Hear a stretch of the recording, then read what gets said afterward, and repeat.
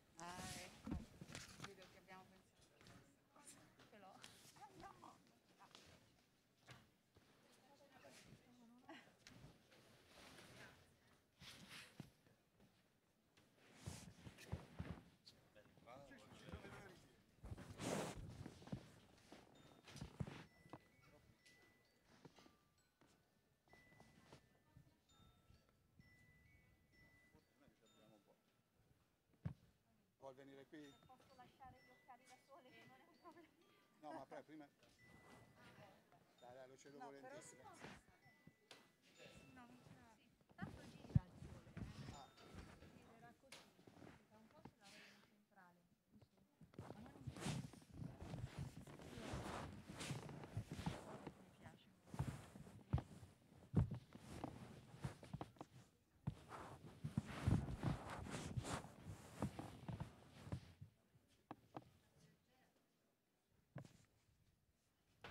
Quindi Paolo, noi parliamo da qua e non da là. Da qua.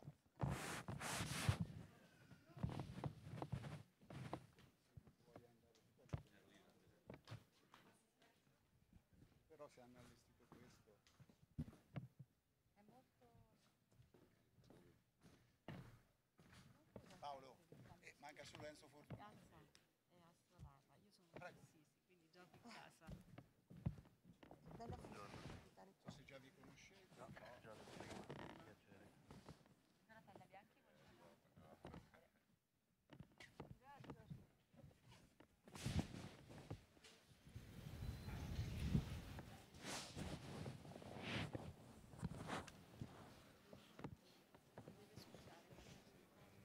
Patrizia Anzi.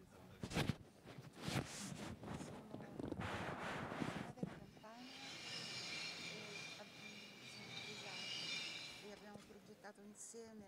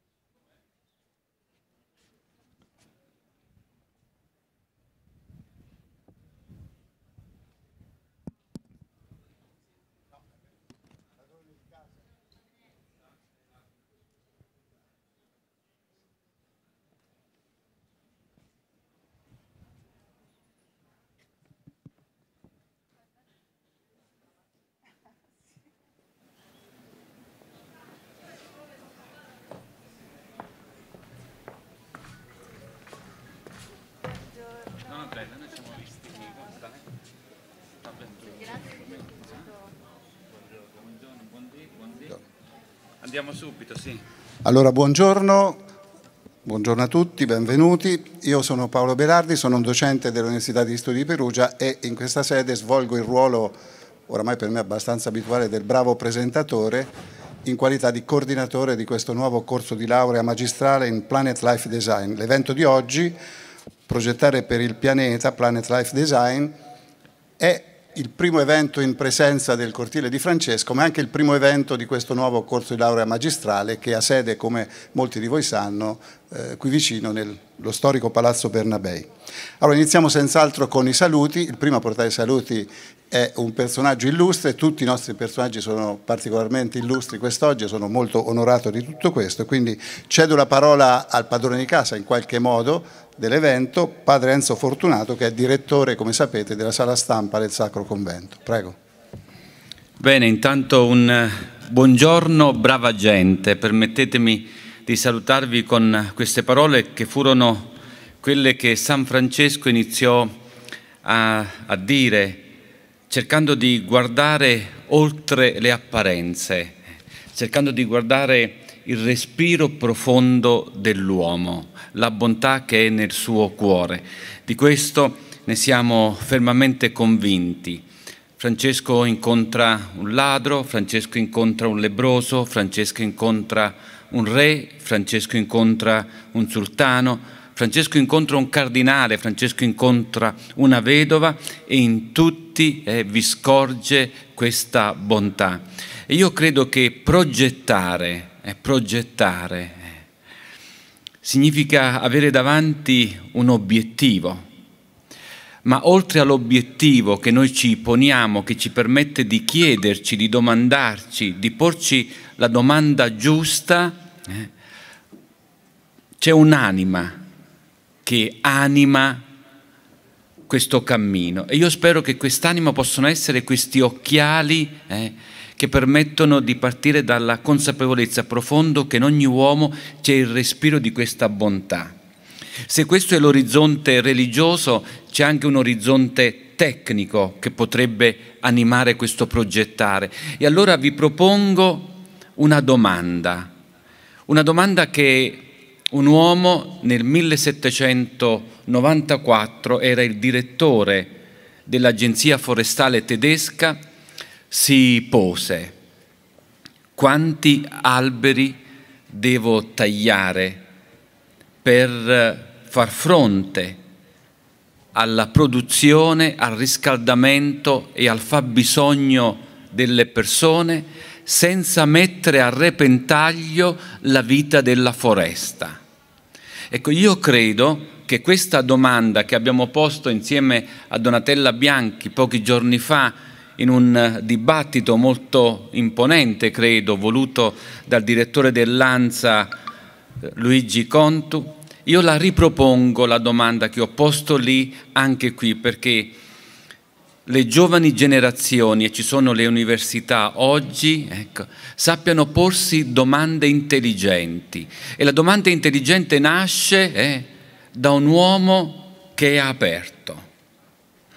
Wittgenstein diceva che la mente dell'uomo è chiamata ad essere come quella di un paracadute, che funziona bene solo quando è aperta. Eh?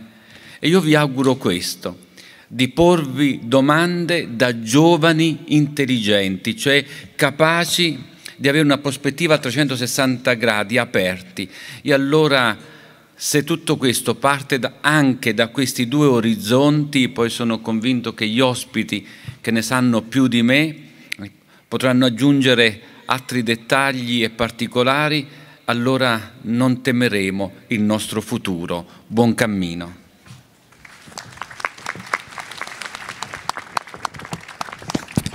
Grazie Padre Enzo, noi è da molto tempo che coltiviamo questo sogno, anni addietro proprio con Padre Enzo Fortunato, con Oliviero Toscani, con Pietro Carlo Pellegrini, eravamo sul punto di attivare un master in design umanitario.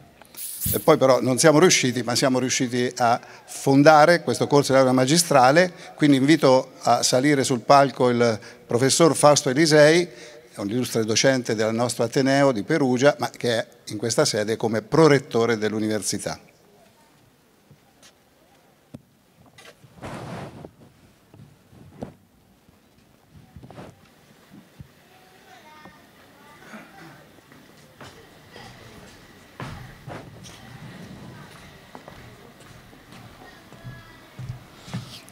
Buongiorno a tutti, grazie Paolo per la presentazione.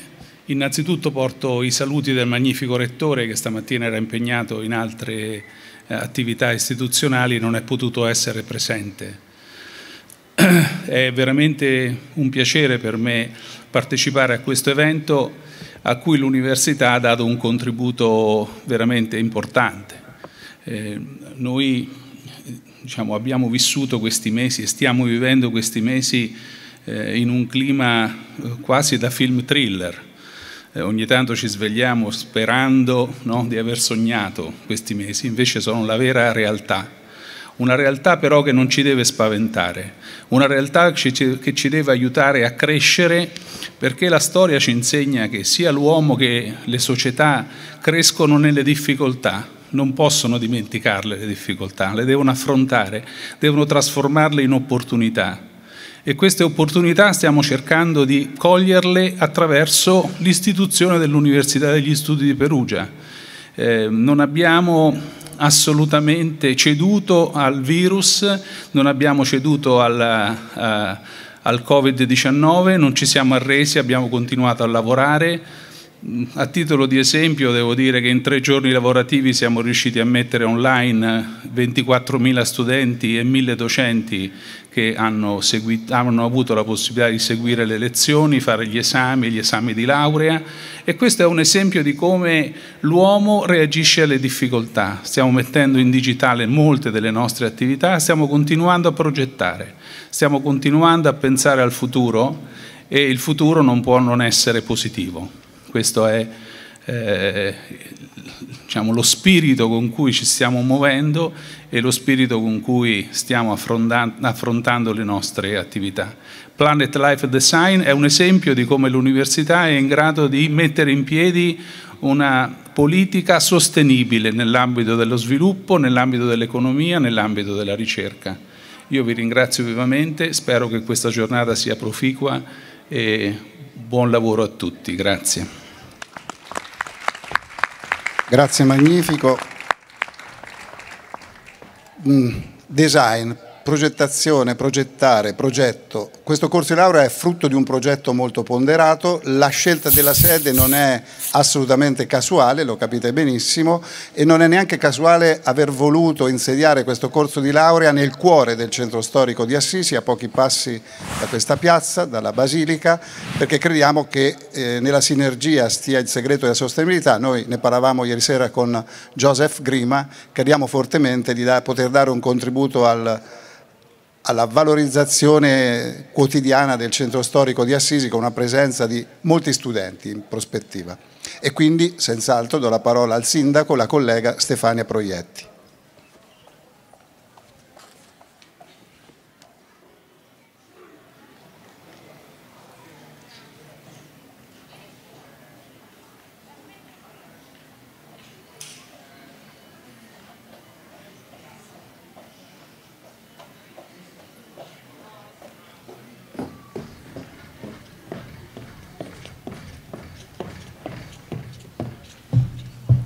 Buongiorno a tutti, cari relatori, prorettore e ospiti tutti. Anche questo nuovo avvicendarsi sul palco ha un po' il senso di quello che stiamo vivendo. No? Non, prima non era, non era, così, dobbiamo farlo per il rispetto delle regole.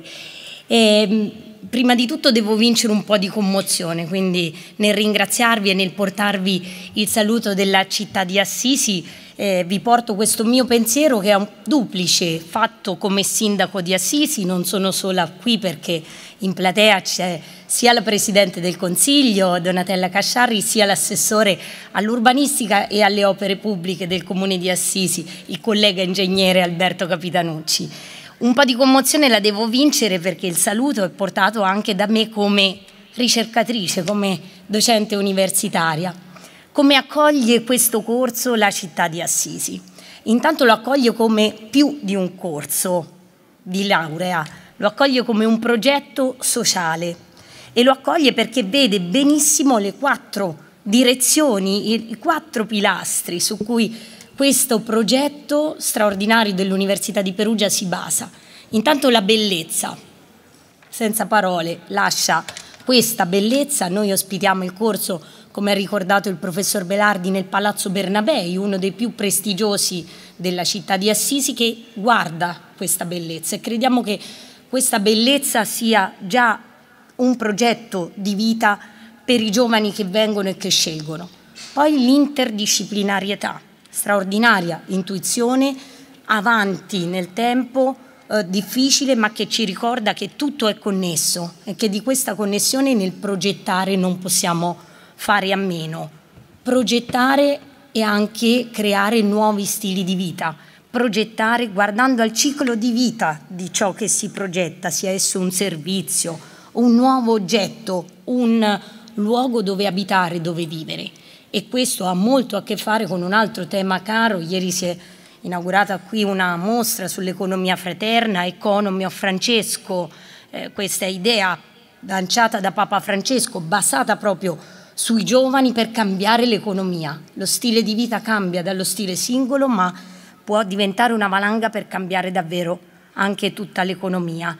E infine fraternità. Voi sapete che il 3 di, di, ottobre noi avremo qui una visita straordinaria in tutti i sensi, Papa Francesco ritorna qui, ma per la prima volta nella storia firma un'enciclica che ha un titolo, un incipit che, come poco prima Padre Enzo prende spunto, cita San Francesco, fratelli tutti, fraternità nel progettare, design universale, temi che ci sono cari, anche che i prestigiosi relatori probabilmente affronteranno. Quindi la città di Assisi accoglie questo corso, accoglie voi ragazzi perché pensa che questo corso sia molto più di un corso, ma sia, e sia anche molto più di un progetto sociale, sia un progetto di vita. Per chi lo sceglie diventi un progetto di vita, di crescita, di sviluppo per la vita di, di chi lo sceglierà e quindi per tante, per le nostre città, per il nostro Paese. Così accoglie la città di Assisi con un immenso, immenso grazie all'Università di Perugia per aver creduto in questo straordinario, ambizioso, coraggioso progetto. Grazie a tutti per essere qui.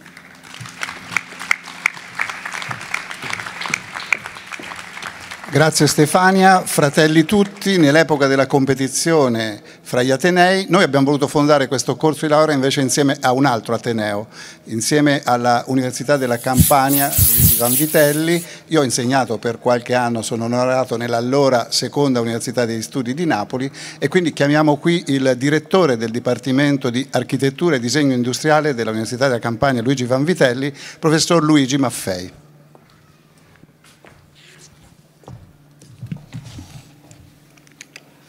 Buongiorno a tutti. Io devo subito sottolineare che per me oggi è davvero un buongiorno e non nascondo, forse come il sindaco, anche una leggera emozione. Un'idea che è partita alcuni anni fa, cioè quella di intraprendere un nuovo percorso virtuoso didattico, trova oggi qui, in, questa, in questo luogo speciale, la sua gemmazione un luogo così vicino peraltro alla linea tracciata dal Santo Padre con la sua Laudatio Si sulla cura della casa comune. Per questo ringrazio il eh, Sacro Convento per aver dato questa opportunità e ringrazio i, i rettori e le due università per aver trovato anche il coraggio di accompagnarci nel costruire questo percorso. Devo come rappresentante del Dipartimento devo poi ringraziare tutti i colleghi che si sono impegnati nel costruire un programma didattico speciale, innovativo, che ha però già nel titolo un chiaro obiettivo. L'obiettivo è quello di preparare design nella progettazione di nuove consapevoli e intelligenti modalità di esistenza su questo pianeta. Di fatto non vogliamo stravolgere il pianeta vogliamo essere presenti nel modo migliore. E ovviamente grazie alla città di Assisi, che è qui rappresentata dal sindaco, che ci ospiterà non solo fisicamente in questo, in questo percorso. Non ultimi i nostri relatori, aspettiamo da loro una serie di indicazioni che eh, di sicuro utilizzeremo per arricchire i nostri contenuti. Però se mi permettete, al di là dei saluti, volevo spendere un minuto su un aspetto che ci ha molto come comunità accademica colpito. Non possiamo fuggire dal, dal pensiero, eh, dalla morsa dei tempi che abbiamo vissuto e che, come diceva giustamente il prorettore, viviamo quotidianamente. Durante subito il periodo del lockdown ci siamo accorti, un po' tutti, delle cose abbastanza banali, ci siamo accorti che l'acqua delle, non è più la stessa, che l'aria che respiriamo non è più quella di una volta. C'è voluto questo piccolo, piccolo perché è stato piccolo, fermo della, delle nostre attività per scoprire ad esempio che i suoni sommersi dell'ecosistema sono riusciti a venire fuori dal, dal rumore di fondo presente. Al di là di queste semplici constatazioni, diversi ricercatori hanno lavorato tantissimo e stanno ancora lavorando per pubblicare, per far rendere noto a tutta la comunità di una situazione diversa che si è venuta a creare tra il prima, durante e il dopo. Solo per questo piccolo fermo numeri raccolti in tabelle, sono stati pubblicati su riviste scientifiche, su web, presentati, commentati, discussi su tutti i canali della comunicazione e hanno nell'opinione pubblica alimentato sia speranze ma anche paure. I confini della ricerca poi si sono anche allargati, non si parla più, ormai molti vanno in avanti in questa direzione, non si parla più di pandemia ma piuttosto di pandemia ambientale dove la crisi ambientale, sanitaria e socio-economica trovano dei, dei collegamenti, da tutti da dimostrare, ma molto probabilmente in alcuni casi esistenti. Purtroppo però la nostra società vive un paradosso, cioè quello che molte volte più informazione ci viene proposta, più siamo inondati di questa informazione, meno siamo informati. Più c'è una frammentazione dei saperi, cioè ognuno nei suoi nelle sue specializzazioni, di più si sviluppa un'autonoma ed eccessiva semplificazione del problema fino ad allontanarlo. Per cui ci siamo accorti che è bastato un semplice battito di mani per liberi tutti per dimenticare tutte queste esperienze che abbiamo vissuto in quei giorni. È rimasto sostanzialmente il problema se riusciamo a convivere nei modi in cui vivevamo prima con un nuovo una nuova presenza che è il virus. Bene, apparentemente, apparentemente qui è l'atto di fiducia, non c'è nessun grande proposito di modifiche nei nostri comportamenti, nessuna strategia a breve, medio o lungo termine. Ho detto apparentemente perché ogni passaggio da uno stato di equilibrio precedente a uno stato di equilibrio successivo, come quello che stiamo probabilmente vivendo, quando è soggetto a forze, lascia comunque una traccia indelebile. La trasformazione non è mai, chi è fisico, irreversibile. Per cui quest, su questa traccia indelebile noi vogliamo costruire il punto di innesco di una nuova cultura più giovane, più attenta, più solidale, più multidisciplinare, come ritroverete nel nostro programmi, e che vogliamo assolutamente captare e ospitare all'interno del nostro corso di laurea specialistico Planet Life Design. Grazie per l'attenzione. Grazie direttore. Dal direttore dell'Università Campania al direttore Giovanni Gigliotti del mio dipartimento, il Dipartimento di Ingegneria Civile e Ambientale. Con Giovanni concluderemo i saluti e poi passeremo ai nostri relatori.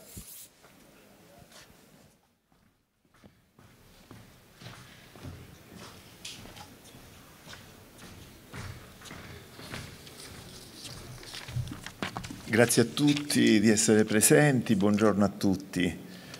Eh, devo partire dai ringraziamenti, dai saluti e dai ringraziamenti. come chi mi ha preceduto sono estremamente, estremamente emozionato. Eh, io e Paolo Belardi, permettetemi di chiamarlo Paolo Belardi, non il professor Belardi, ci conosciamo da una vita, abbiamo iniziato a progettare tutto questo cammino esattamente quattro anni fa. Quattro anni fa abbiamo per la prima volta accolto gli studenti del corso di laurea triennale in design, fortemente voluto dal nostro, dal nostro Ateneo. Era una scommessa, lo facevamo in un dipartimento ingegneristico. È una scommessa che possiamo dire di aver vinto oggi, Paolo, penso, perché nei quattro anni ormai di questo corso abbiamo accolto circa 750 studenti. Ad oggi abbiamo circa 750 studenti iscritti al nostro nuovo corso di laurea in design l'anno scorso abbiamo iniziato un nuovo sogno, il sogno di una laurea magistrale in design. Eh, ci è bastato pochissimo, Paolo abbiamo un'intesa strettissima per capire verso dove andare. E due erano i punti fermi, farlo in sinergia con una grande scuola di design italiana, quale appunto la scuola della Vanvitelli eh, di Aversa, e farlo in, una, in, un luogo del tutto particolare, in un luogo eh, veramente eh, mistico, appunto Assisi. E abbiamo così avuto la fortuna di scoprire o di riscoprire Palazzo Bernabei. Ce ne siamo innamorati, abbiamo chiamato i nostri amici eh, di Aversa, sono venuti, hanno visto Palazzo Bernabei e sono rimasti estasiati, hanno detto sì va bene, eh, costruiamo il corso, si parte. E oggi siamo qui, grazie all'invito della comunità francescana, eh, che ringrazio eh, veramente per averci accolto, per lanciare con, eh, con questa manifestazione il nostro corso di laurea. Vorrei focalizzarmi su ciò che vedete scritto sul banner rosso del manifesto, progettare per il pianeta eh, l'uomo non è nulla eh, di fronte a tutto ciò. Eh, siamo ancora in piena emergenza Covid, nessuno lo può negare che siamo in piena emergenza Covid e questo forse ci fa dimenticare alcuni temi fondamentali, eh, quali le emergenze ambientali, in primo luogo i cambiamenti climatici, eh, la difesa del territorio, il grossissimo problema eh, della, gestione, della gestione dei rifiuti, che è il mio tema di ricerca fondamentale. Ma questi argomenti non possono e non devono passare in secondo piano. Perché? Perché argomenti quali salute e qualità dell'ambiente sono strettamente legati tra di loro. E sempre più quindi la ricerca scientifica e l'alta formazione dovranno focalizzarsi su questi argomenti in modo sinergico ed interdisciplinare. Nessuno può negare la forte interdisciplinarità di questo corso di laurea in Planet Life Design. Ricerca scientifica e alta formazione trovano la loro sede di elezione appunto all'interno dell'università, che quindi è chiamata a dare risposte complete in questi campi, non solo dai laboratori di ricerca, ma dalle aule, perché è nelle aule universitarie che viene ad essere formata la classe dirigente di domani. Sostenibilità non può essere uno slogan, non può essere una moda. Lo diceva prima padre Enzo Fortunato citando eh, il capo de, eh, del corpo forestale tedesco. Ogni comportamento umano Ogni decisione politica devono prendere le mosse da queste semplici domande. Questa azione è sostenibile? Questa azione come e quanto impatta sugli equilibri del nostro pianeta? Quanto questa azione può dare alla generazione presente, togliendo però alle generazioni future? Il creato ci è stato affidato non per essere sfruttato, ma per goderne noi, per goderne i nostri figli, per goderne i figli dei nostri figli.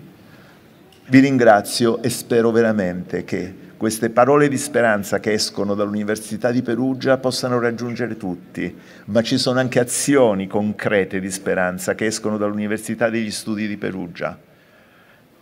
Prorettore lo sa, il 14 di settembre il nostro Dipartimento, con altri dipartimenti del nostro Ateneo, ha aperto nuovamente le porte agli studenti. È un grande sforzo, non ci ho dormito per notti, ho lavorato 15 ore al giorno per permettere che ciò avvenisse. Tutti nell'Ateneo abbiamo lavorato 15 ore al giorno affinché ciò avvenisse, ma i nostri studenti stanno rientrando nell'Ateneo perché è qui, è qui che nasce la generazione futura, è qui che nasce il futuro del nostro pianeta, è qui che dobbiamo imparare qual è il rispetto che dobbiamo al nostro pianeta. Vi ringrazio.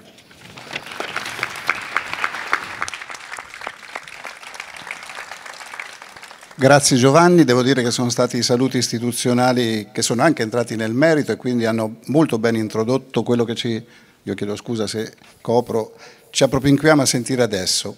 Eh, questo, il manifesto degli studi di questo corso di laurea magistrale è articolato, è strutturato su quattro laboratori principali e gli inviti che abbiamo fatto ai nostri quattro illustri relatori eh, sono proprio eh, pertinenti con le quattro tematiche, poi lo vedremo. A ciascuno di loro abbiamo chiesto di parlare ovviamente liberamente, ma su un tema che comunque è quello di un laboratorio.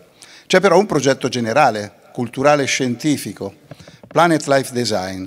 devo dire che a un certo punto del percorso con Giovanni, quando abbiamo incrociato gli amici di Aversa, abbiamo avuto la fortuna di incrociare grande, il vero ideologo di questo progetto culturale, la professoressa Patrizia Ranzo, che adesso introduco e che in qualche modo eh, spiegherà il senso generale di questo progetto culturale, perché si tratta di un progetto culturale. I relatori sono talmente illustri che mi limiterò, ho limitato a pochissime battute la loro presentazione. Patrizia Ranzo è architetto e designer, è professore ordinario di disegno industriale nell'Unicampania, è presidente del corso di laurea magistrale in design per l'innovazione. Tra le tante cose che lei fa ho selezionato, mi piace ricordare, che coordina dei laboratori di ricerca, perché coordinare i laboratori di ricerca in questo momento è particolarmente importante, e in particolare Ideas for Peace per la cooperazione internazionale e FARE, che poi sarebbe l'acronimo di eh, Fashion Research e che riguarda proprio l'innovazione nel campo della moda. Prego Patrizia. Grazie. Posso andare lì? Forse Sì, se vuoi sì. Se volete potete o rimanere o...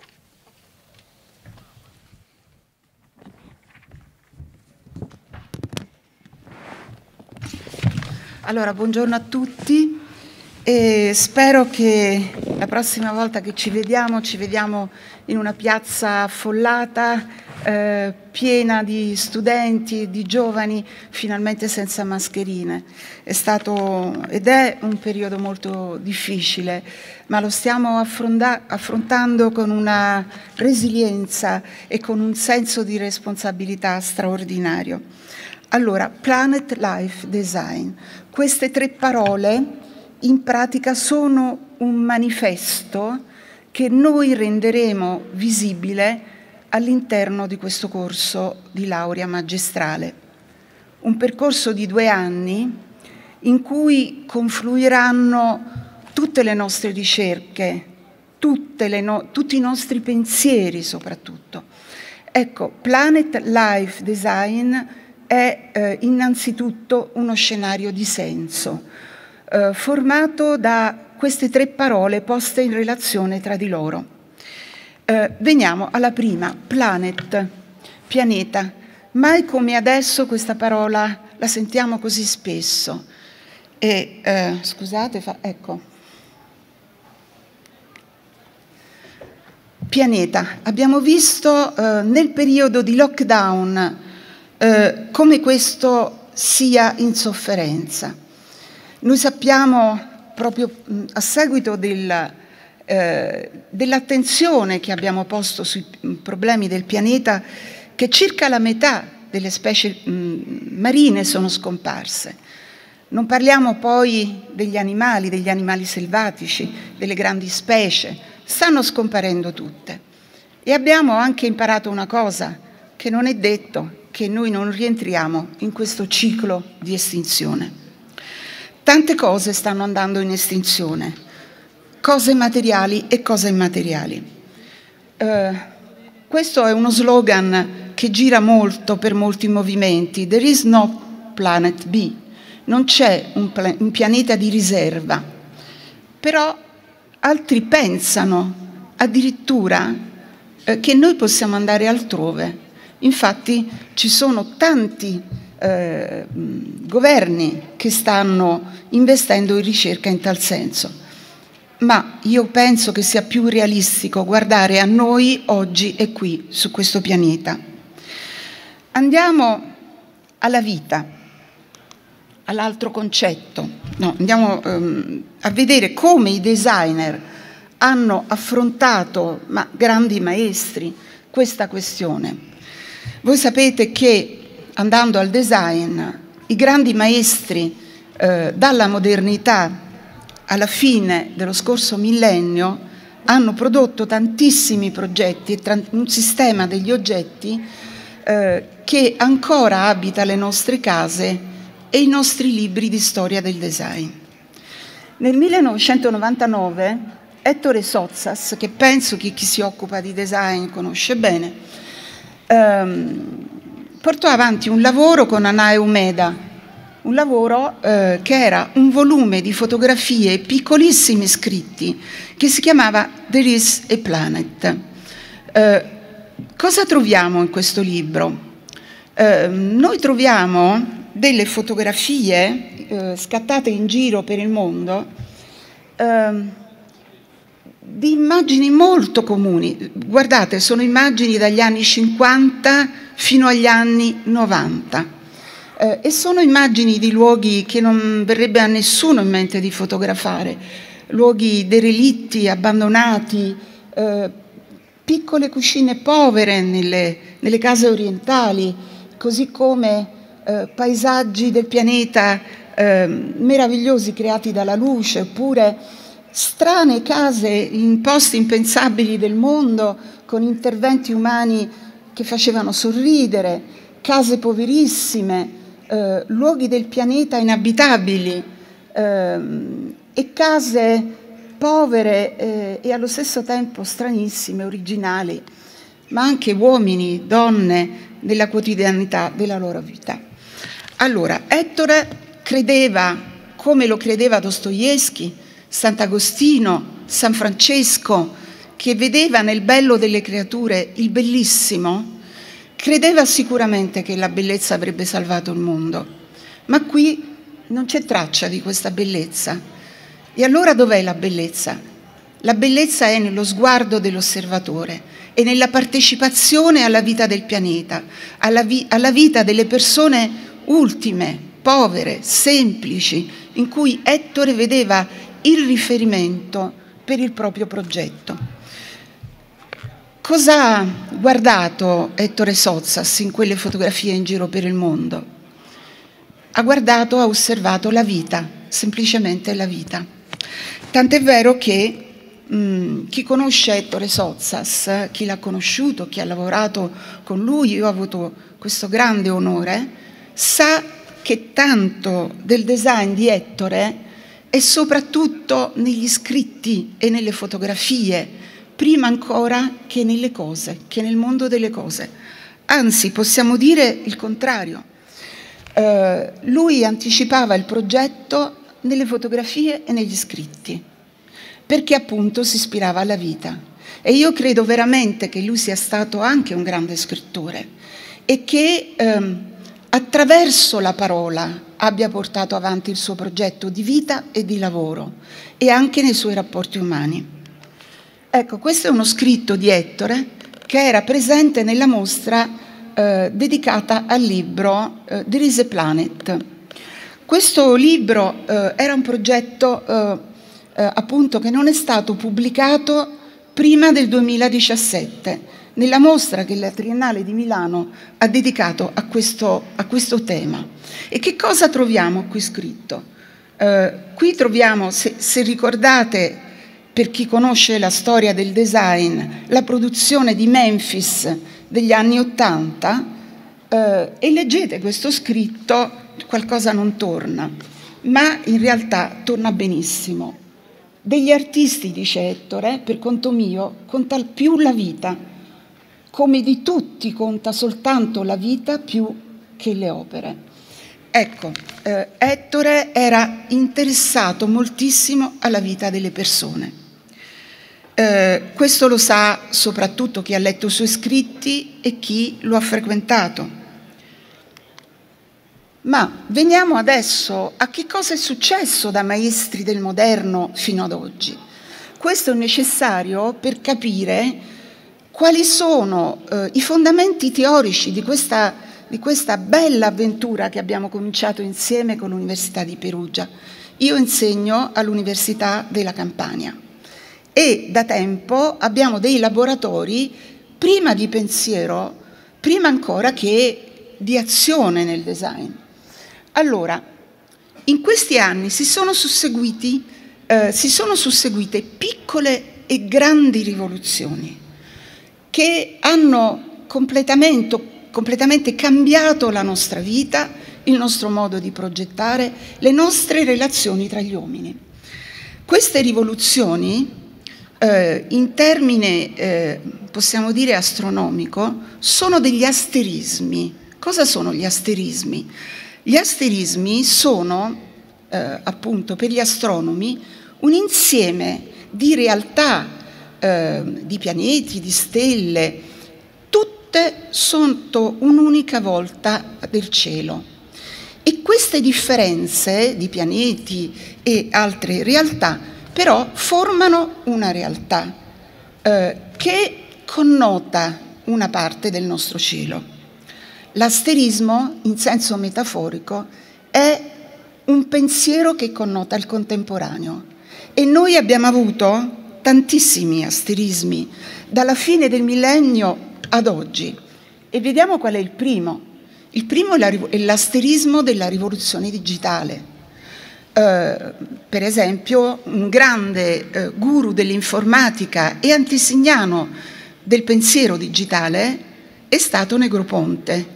Mm, per esempio Negroponte già nel 99, 1999 diceva la rivoluzione digitale è finita, ce ne accorgeremo dal fatto più eh, per la sua assenza che per la sua presenza. Vi faccio un esempio. Se noi siamo immersi nel digitale, noi ci accorgiamo del digitale perché non c'è la linea e non possiamo lavorare. Questa assenza denota un fatto, che siamo completamente immersi nel digitale fino a non vedere l'orizzonte. E che cosa ha mm, generato la rivoluzione digitale? Questo fenomeno in between materiality. Noi siamo e agiamo su una linea di confine, di soglia tra la materialità e l'immaterialità. Noi abbiamo pensato che il fenomeno più rilevante del digitale fosse la smaterializzazione degli oggetti, delle cose, eh, del sistema delle merci. E questo è stato senz'altro vero. Ma non solo. Un altro fenomeno del digitale, del digitale maturo, è la smaterializzazione delle azioni degli uomini. Che cosa significa questo? noi attraverso un solo dispositivo, che può essere lo smartphone, possiamo eh, pagare, quindi smaterializziamo la moneta, possiamo aprire le porte, smaterializziamo le chiavi e i sistemi di sicurezza e così via. Ma non solo. C'è un fenomeno ancora rilevantissimo per la sostenibilità del nostro pianeta che è questo. In realtà il digitale corre veloce a tal punto che manda in estinzione questa tecnologia tutti i sistemi e gli oggetti precedenti a una velocità rapidissima. Quindi se noi progettiamo nell'ambito del design, ancora di più nell'ambito del design per l'elettronica, per il digitale, tutto ciò che noi progettiamo è destinato ad avere una vita molto breve questa brevità della vita, questa estinzione continua, questa evoluzione che fa sì che ogni oggetto non sia sempre un prototipo. Se voi guardate al mondo del design, siamo pieni di prototipi, proprio perché siamo diventati degli sperimentatori. Ecco, questa, questa velocità è insostenibile per il nostro pianeta. Tutti voi avete a casa quanti computer, quanti device, quanti telefoni e quanti elettrodomestici che funzionano o non funzionano più nell'arco di un anno. Ecco, tutto questo è stato generato eh, dall'aderire al pensiero digitale senza uno sfondo etico e anche, ehm, come dire, di progetto aderente alla realtà. E ora c'è un nuovo asterismo. Questo asterismo è il post-digital. Mh, voglio spiegarvi la differenza tra questi due momenti della tecnologia. Il post-digital non è una condizione, il digitale è una condizione, nel senso che ne viviamo immersi e siamo parte di una comunità digitale. Il post-digital invece è un'intenzione, una volontà, il voler aderire a un diverso modo di pensare e un diverso modo di percorrere i sentieri della tecnologia, diversi da quelli tracciati in modo predeterminato. Eh, nasce il pensiero post-digital dalla tecnologia, ma anche dal pensiero tecnologico nell'arte. Questa è una cosa che accade spesso, che l'arte veda prima di noi. Aram Bartol, che è un artista, dice il post-digital è un'attitudine umana, mm, prima ancora che digitale. E eh, Giorgio Agamben, che molti conoscono, eh, afferma che il post-digitale può essere la chiave per comprendere il contemporaneo. Ma ancora, Willem Flusser mette proprio il design a confronto col concetto di intenzione. È design tutto ciò che ha alle spalle un'intenzione, una volontà, un pensiero. Ma questo accade anche eh, nell'arte. Eh, molti studenti mi chiedono quando è che uno, un'opera d'arte è un'opera d'arte e quando è che un oggetto è un'opera di design. Quando dietro quell'opera c'è un'intenzione, una volontà, un pensiero e quel pensiero, quella volontà ci rappresentano, rappresentano l'essere contemporaneo. E quindi il design, di fronte a questi asterismi e a queste piccole e grandi rivoluzioni, come è cambiato? Perché è questo cambiamento di pensiero che è lo sfondo del nostro progetto di Planet Life Design. Dal design dei prodotti, e qui vedete la Valentine di Ettore Sozzas del 1969, che è stato un progetto eh, del contemporaneo di quegli anni, è passata al design degli scenari della vita e del loro sviluppo. Ed ecco che ritroviamo la parola vita affrontata al concetto di design, affrontato al pianeta. Ecco, questo è il nostro scenario di sfondo. Però noi abbiamo parlato di contemporaneità, che cos'è oggi il nostro essere contemporaneo? Qual è il nostro sentimento della contemporaneità? Ecco, in questo momento è questo. Siamo in un pianeta che soffre di una malattia autoimmune. Io so bene cos'è la malattia autoimmune perché in famiglia ho una persona molto cara che soffre di una malattia autoimmune. Le malattie autoimmuni eh, fanno in modo che noi conduciamo una battaglia contro noi stessi e il pianeta, dove intendiamo un ecosistema di cui facciamo parte, è in una guerra di questo genere, una guerra autoimmune. Noi facciamo guerra a noi stessi.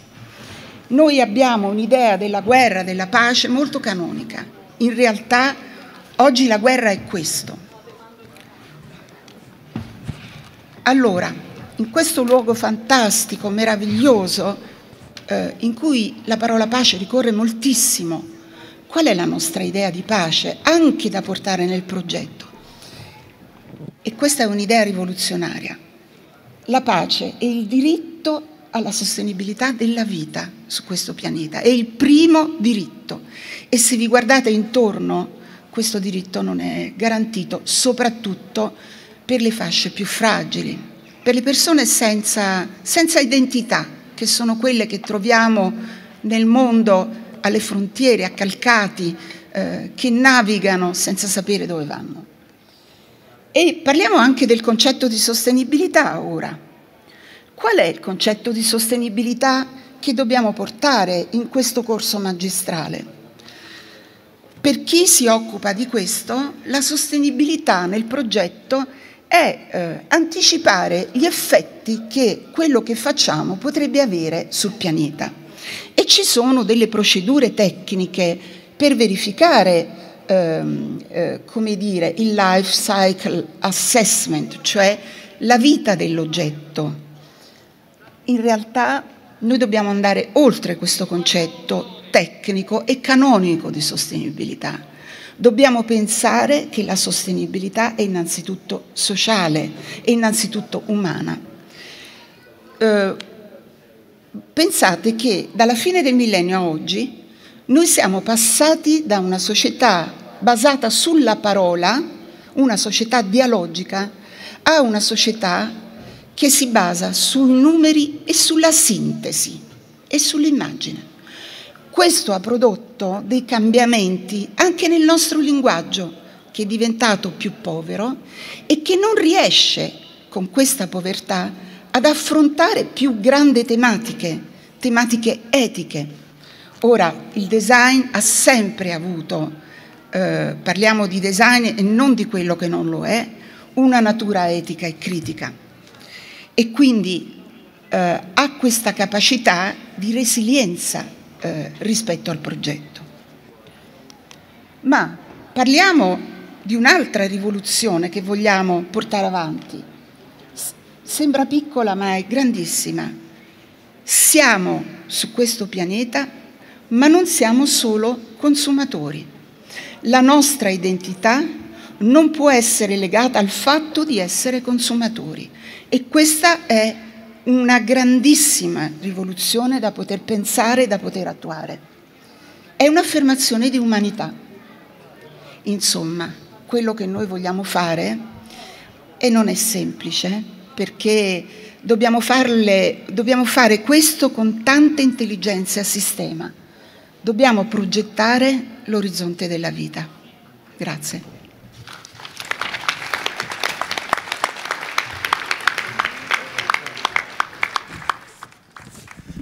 Grazie Patrizia. Questa è la cornice, la cornice ideologica, il pensiero generale. Poi, come ho detto, ci sono una serie di materie e di insegnamenti trasversali, ma ci sono quattro laboratori strutturanti. Il primo, clima ed energia, e ci sono materie come ecodesign per la qualità della vita, fonti rinnovabili, clima e cambiamenti climatici.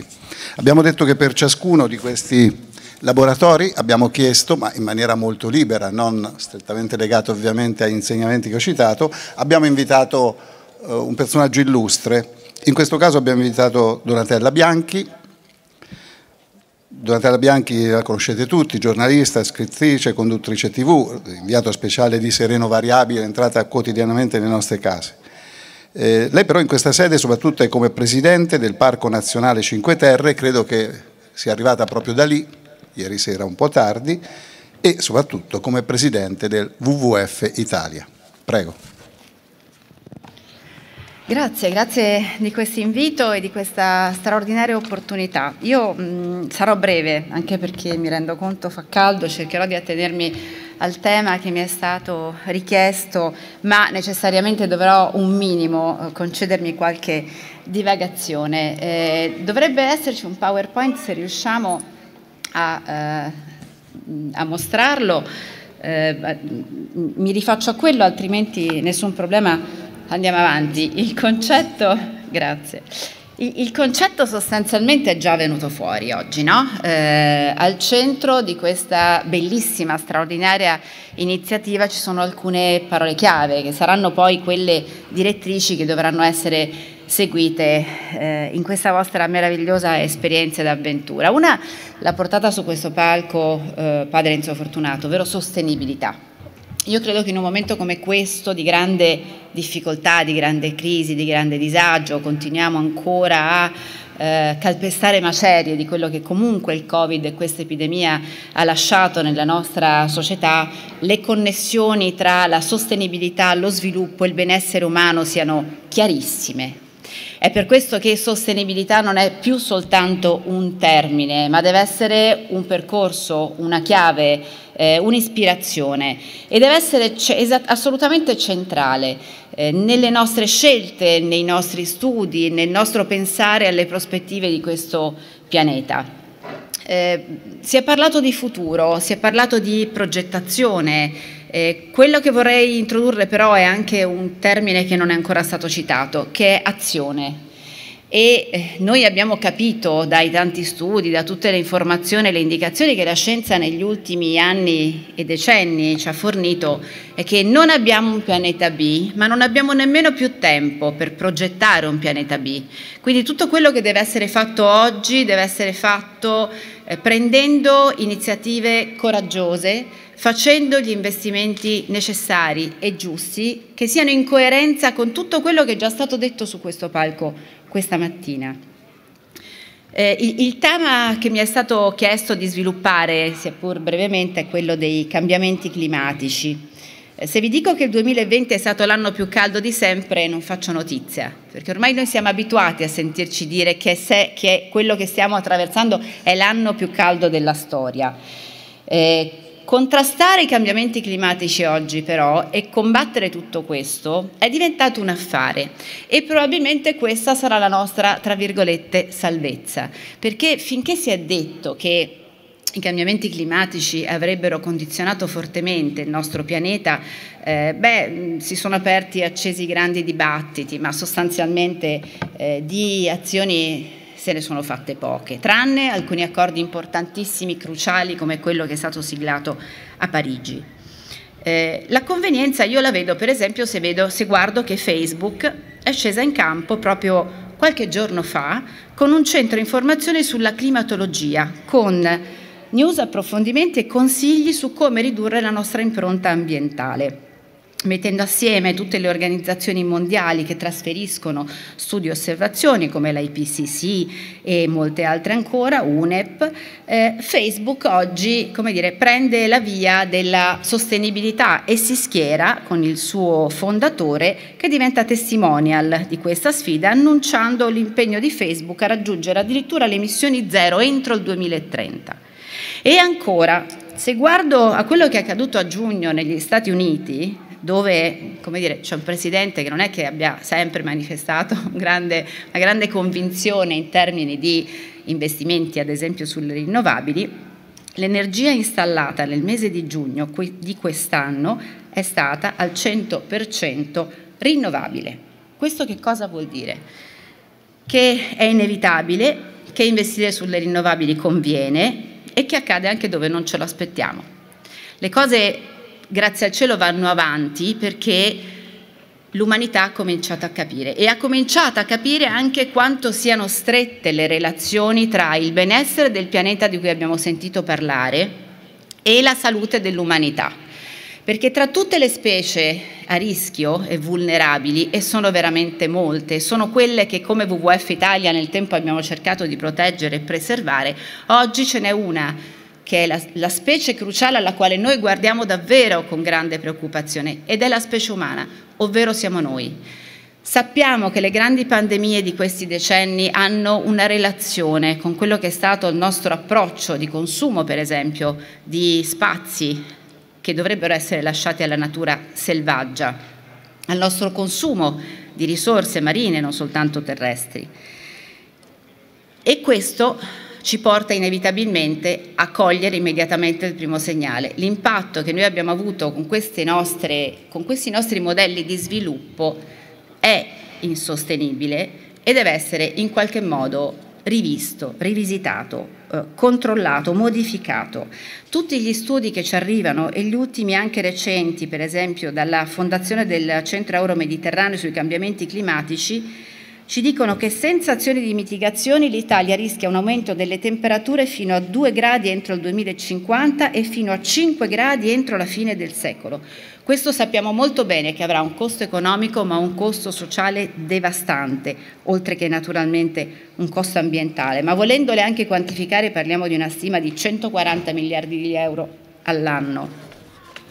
L'agenda politica sostanzialmente è qui, ma la nostra agenda, quella che ci porta a capire che non abbiamo molte alternative, è semplice da scrivere. Pensiamo solo che se con l'innalzamento della temperatura media globale di un, di un, grado centigrado vediamo aumentare l'intensità, la ferocia e la frequenza dei fenomeni in questo modo, che cosa accadrà con 2-3 gradi o 4 gradi centimetri di aumento delle temperature?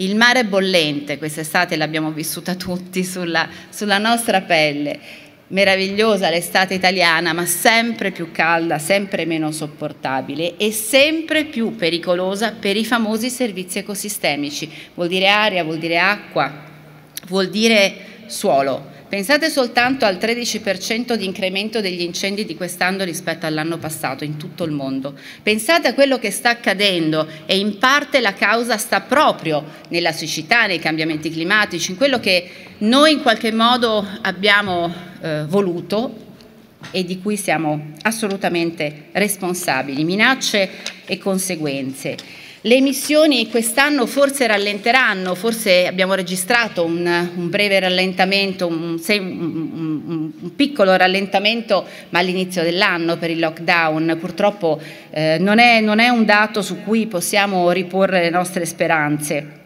E se questa tendenza continuerà, noi sappiamo che distruggeremo ecosistemi vitali che avranno un impatto sulle economie e minacceranno le proprietà e i mezzi di sussistenza delle comunità più deboli, proprio quelle che noi abbiamo visto prima.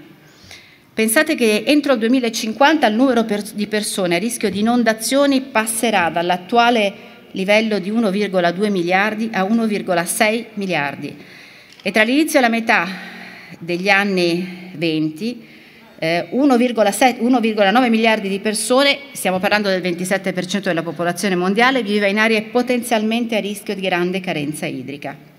Questi numeri saliranno inesorabilmente.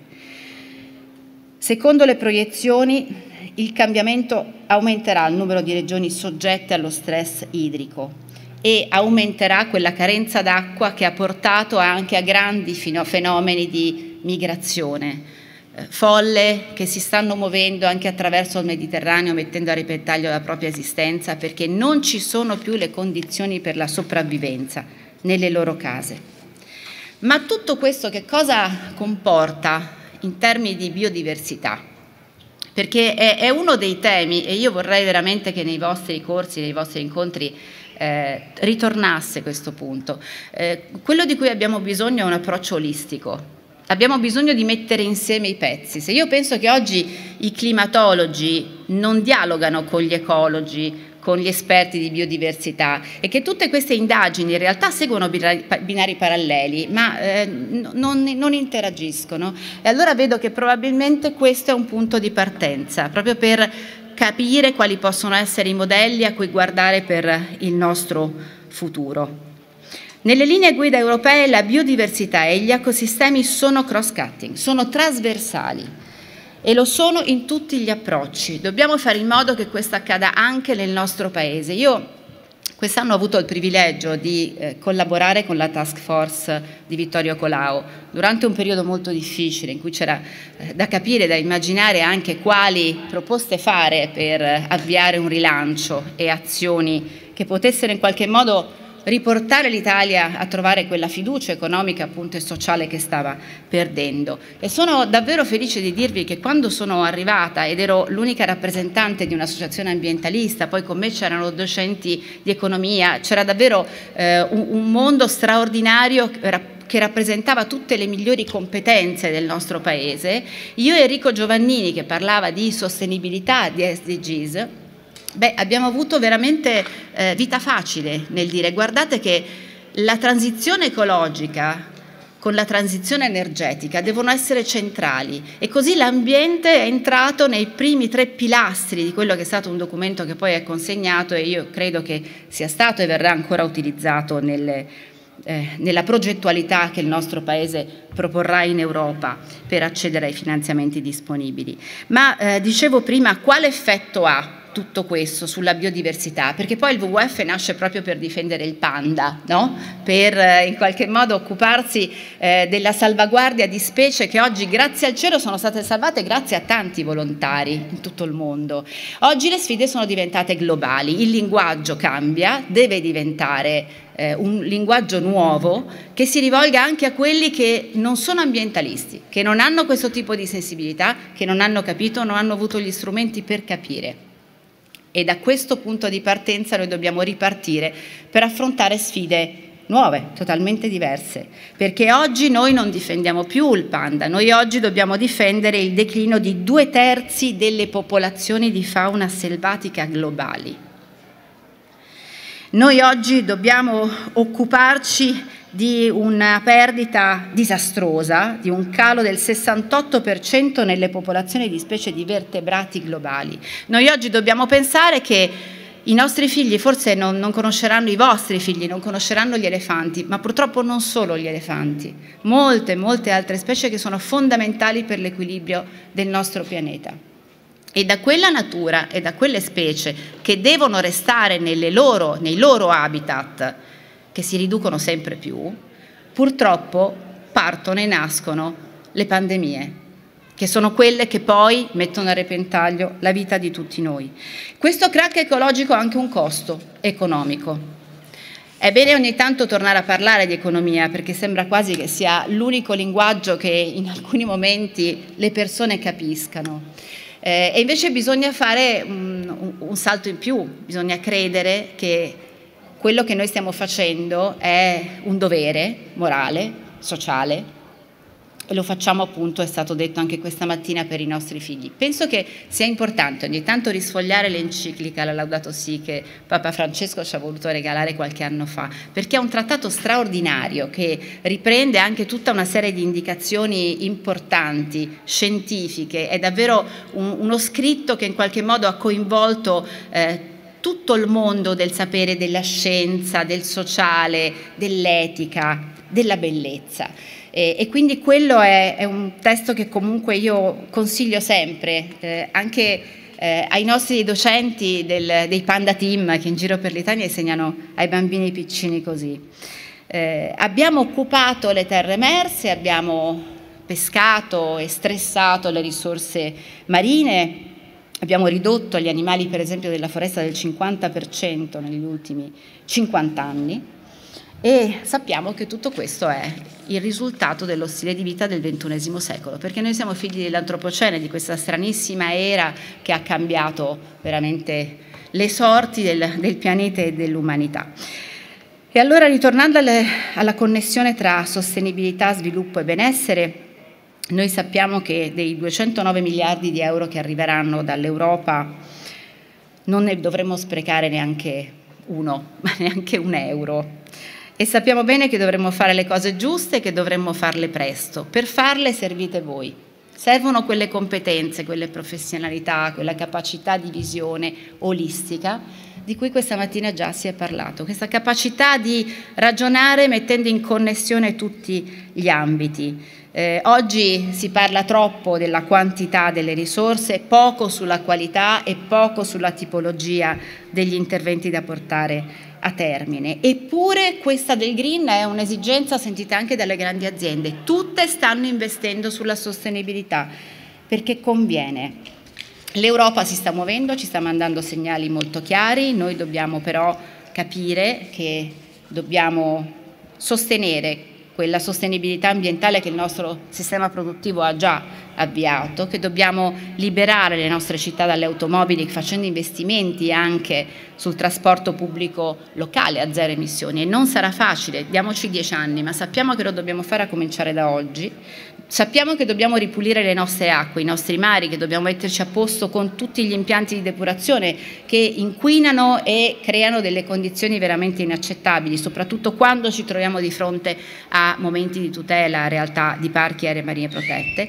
Sappiamo che dobbiamo difendere il nostro capitale naturale che è alla base del nostro benessere, ma sappiamo anche che dobbiamo fermare il consumo del suolo. Serve una legge che afferma in Parlamento, per questo è necessario che anche la politica faccia la sua parte e poi servirà una legge sul clima che diventi quell'ombrello all'interno del quale organizzare le strategie, trovare le risorse, indirizzare tutto quello che sarà il lavoro necessario da fare prossimi anni, nei prossimi anni. L'Unione Europea già lo sta facendo, la legge è già pronta, altri paesi l'hanno fatto, la Francia, la Germania ad esempio, noi non possiamo assolutamente restare a guardare.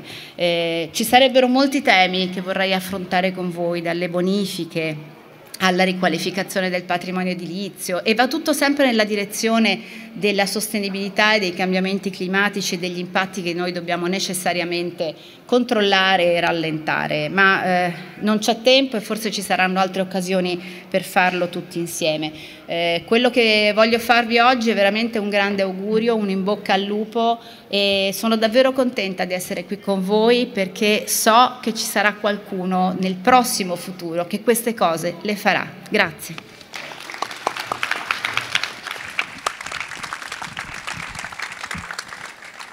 Grazie a Donatella Bianchi. Il secondo eh, laboratorio strutturante, territorio e patrimonio, a parlarci di patrimonio in senso lato, chi meglio del direttore delle Gallerie degli Uffizi di Firenze. Quindi diamo la parola ad Eike Schmidt, storico dell'arte, si è formato ad Heidelberg, è stato curatore della National Gallery of Art di Washington e del Getty Museum di Los Angeles, quindi immagino quello realizzato su progetto di Richard Meyer. Bellissimo. Sapete tutti che attualmente è direttore delle Gallerie degli Uffizi e visto che parliamo di design non possiamo non ricordare che nell'ambito dei premi dell'ultimo Compasso d'Oro 2020 un premio speciale per l'efficacia è stato attribuito al nuovo logo delle Gallerie degli Uffizi quindi complimenti direttore anche per questo, per questo atto di progettualità. Grazie, eh, grazie. Eh, infatti, ehm, anche, eh, infatti eh, è il primo logo infatti, mai eh, fatto per le gallerie degli uffizi, quindi si pensa che sarebbe un rebranding, ma era il primo, primo branding. Infatti è grazie all'introduzione che eh, appunto giustifica che non sono qui soltanto come cavia per eh, dimostrare eh, che veramente quest'anno è quello più ehm, caldo in tutta eh, eh, la storia, ehm, almeno dal momento della documentazione, prima bruciandomi la guancia destra, poi con la sinistra, adesso è eh, il momento della fronte, quindi anche per questo motivo sarò breve e succinto.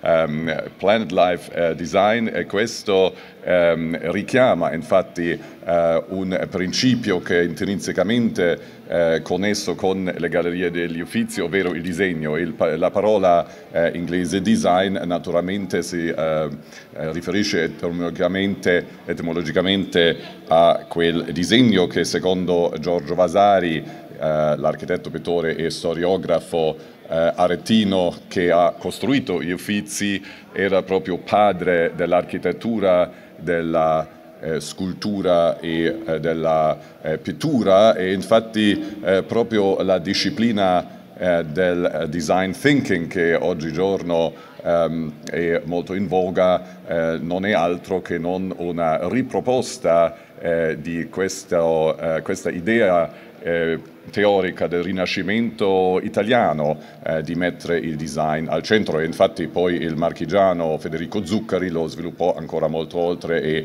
mh, mm, eh, mise il design, il disegno appunto al centro anche di tutte le altre eh, discipline, affidamento di tutte le attività umane e quindi è, è, proprio un principio del Rinascimento italiano che ora viene recuperato eh, con eh, questa idea di applicare il design all'analisi ma anche poi soprattutto alla ehm, risoluzione eh, dei problemi eh, con i quali noi eh, ci ehm, confrontiamo eh, oggigiorno. Ehm, e com così come infatti nell'interazione dell'uomo con la natura, noi non creiamo ex novo niente, cioè ci affrontiamo con eh, realtà che ci sono da, da milioni di anni, ehm, con stratificazioni geologiche eh, che si sono eh, sviluppate attraverso un tempo molto molto lungo.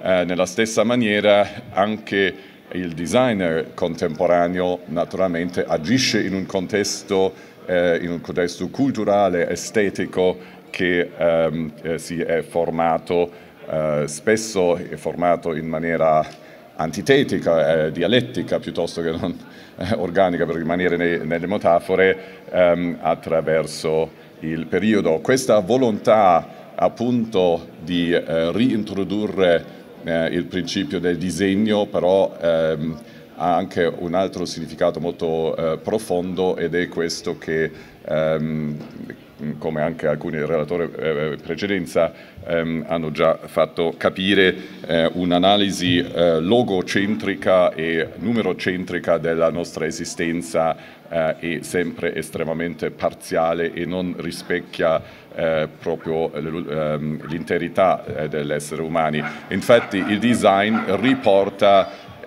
il, um, un'altra un altro nomos eh, è quindi quello del, eh, del eh, una, un altro approccio, eh, quello eh, un approccio iconocentrico ehm, che può eh, essere messo a frutto proprio per aiutare lì dove, non, ehm, dove mancano le parole, dove ehm, appunto i numeri eh, non eh, raggiungono, non, non ci ehm, fanno capire la, vita, la via eh, d'uscita. Um, uh, questo approccio per esempio um, è molto molto evidente quando vediamo uh, i sistemi nei quali uh, um, agiamo in maniera circolare oppure quando noi cerchiamo un equilibrio, un equilibrio dei vari processi così come eh, nel campo del, dell'informatica è, normale eh, a partire da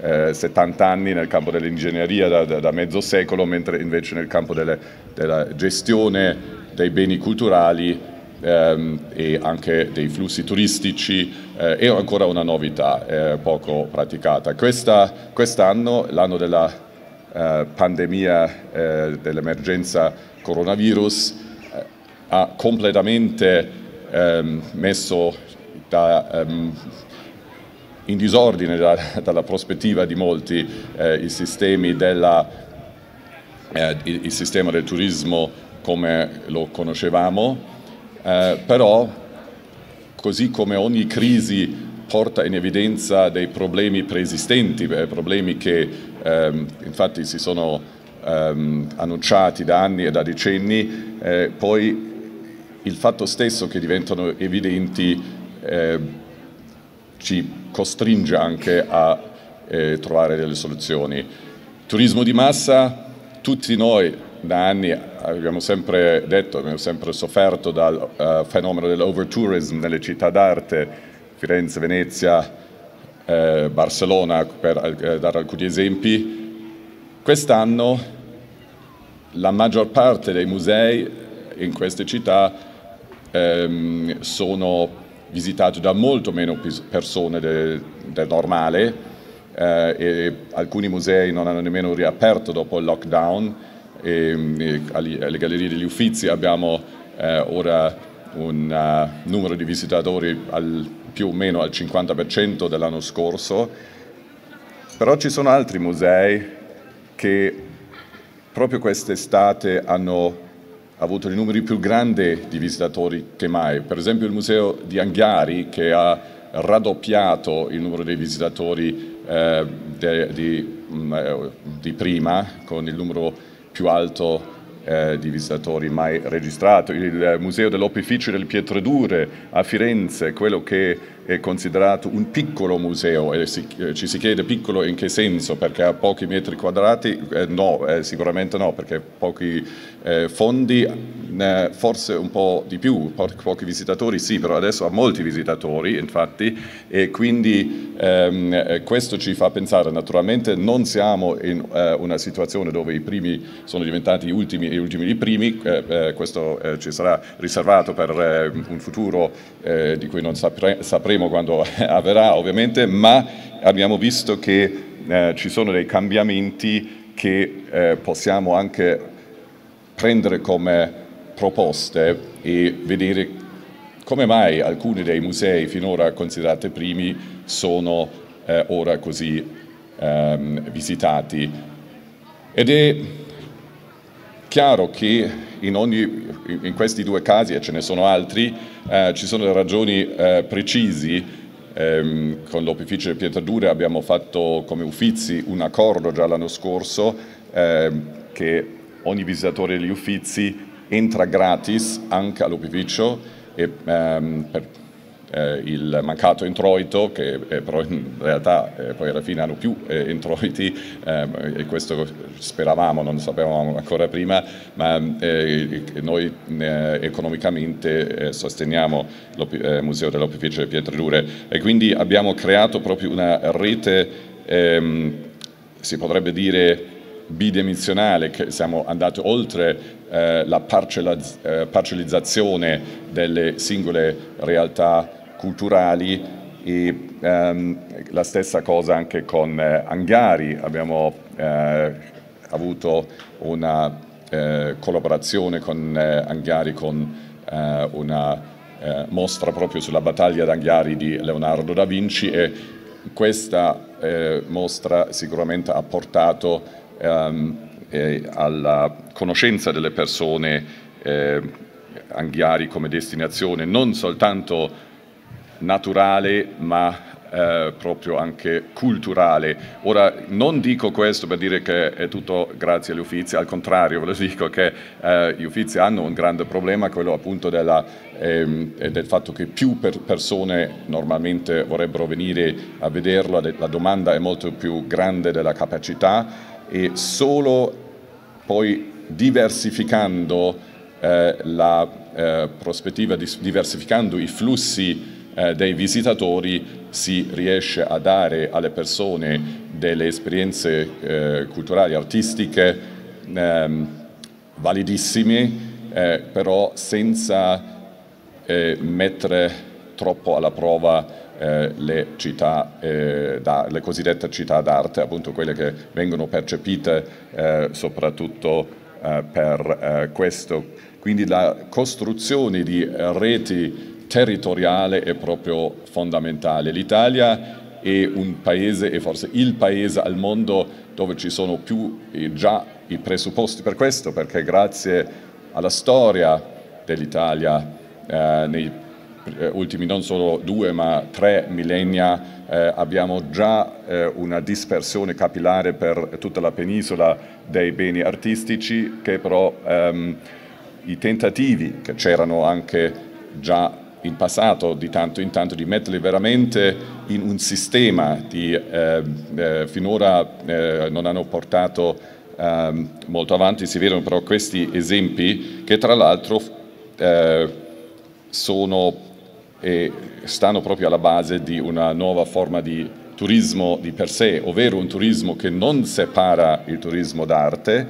eh, da quello della natura, quindi delle bellezze della natura, da quello e, eh, anche sportivo, atletico e enogastronomico, ma che mette insieme tutte queste diverse dimensioni eh, che fanno eh, parte della, ehm, eh, dei 360 gradi dell'essere umani e eh, quindi è proprio un nuovo modello di eh, turismo che bisogna proporre, che appunto mette insieme eh, la bellezza del paesaggio con eh, l'arte, così come credo eh, qui ad Assisi lo abbiamo già dai eh, tempi eh, di San Francesco medesimo, ehm, turismo ovviamente ehm, eh, nei primi secoli, anche oggi, eh, eh, nel senso eh, lato della parola, anche del, del, turismo religioso e quindi del pellegrinaggio,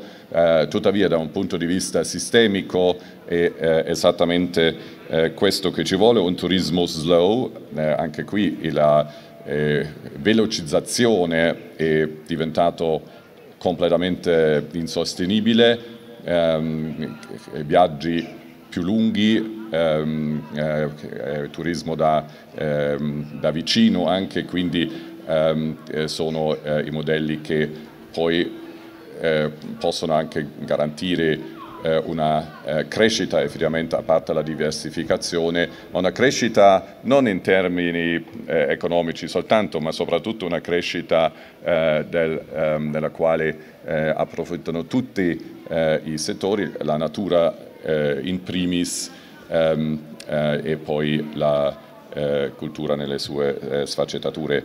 Um, um, ultimo punto di, di riflessione, quello della, quello della riduzione della eh, biodiversità, questo è naturalmente un problema anche um, a livello eh, culturale, però um, eh, credo che proprio un approccio di design lo rende ancora più um, chiaro come la riduzione della biodiversità sia un problema proprio per l'umanità ancora prima che non per le altre specie. Cioè quando leggiamo eh, su un giornale che una certa specie di insetti eh, fosse estinto, qualcuno magari è anche contento eh, perché non, ehm, è difficile talvolta di ehm, avere simpatia con eh, eh, certi insetti. Quando si tratta di pesci e di, ehm, eh, o di, eh, di, uccelli è già molto più difficile, siamo già molto molto più vicini, è molto più semplice e proprio noi ehm, eh, soffriamo più facilmente quando eh, si tratta di mammiferi. Tuttavia, eh, tuttavia un uh, approccio che lo prende come un, un grafico, quindi che, che quando um, e, e mette in relazione le varie specie, ci dice una cosa molto interessante ed è questo che con le specie che si riducono eh, cioè, se si mettono insieme tutte le specie in esistenza su questo pianeta, oltre l'80% sono, eh, sono microspecie, sono eh, microorganismi eh, oppure eh, anche eh, organismi più ehm, a, a, livello subcellulare come ehm, appunto i virus. E quindi con ogni con ogni specie che si estingue, cioè non è che l'essere umano guadagna terreno, ma è proprio mic- i microorganismi che guadagnano eh, terreno e quindi eh, graficamente è molto molto evidente che sarà proprio il problema dell'umanità che cresce esponenzialmente con eh, questa riduzione eh, della biodiversità eh, perché saranno sempre più virus eh, con i quali ci dobbiamo affrontare. Cioè, quindi questo è stato detto a livello numerico eh, già tante volte, però rendendo eh, um, l'immagine in maniera visualizzata ehm, il messaggio è molto molto chiaro e finisco con questo. Grazie.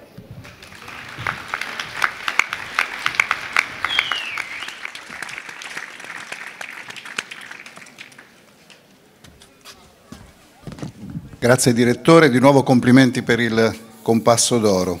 Non sapevo che fosse un branding, no? un rebranding, veramente molto interessante e molto importante, credo come segnale. Il terzo laboratorio strutturante al secondo anno, città e paesaggio, gli insegnamenti di riferimento sono architettura zero cubatura, land art design, estetica del paesaggio nella storia del pensiero.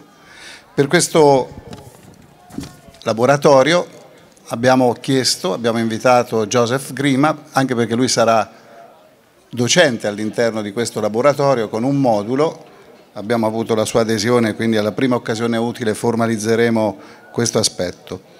Eh, Joseph è, sapete tutti, direttore artistico della Design Academy di Eindhoven, è stato direttore della rivista Domus, è stato direttore artistico di Matera, capitale europea della cultura 2019, ed è stato, tra le tante cose, mi piace ricordarlo, membro di giurie internazionali, tra cui quella della Biennale Architettura di Venezia del 2010, che era diretta da Kazuyo Sejima. Prego, Giuseppe.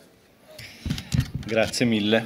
Eh, cercherò di tenere questo molto breve, viste le condizioni, ma ehm, ovviamente voglio aggiungere anch'io la mia eh, espressione di commozione per questo importante momento, perché eh, è veramente una soddisfazione incredibile proprio come assisano, come persona che è, da, è residente ad Assisi, che è cresciuta ad Assisi da eh, più di 30 anni, vedere, eh, ed essendo poi andato altrove a lavorare appunto nell'ambito del design dell'architettura, vedere l'architettura e il design che vengono ad Assisi è veramente una cosa eh, straordinaria.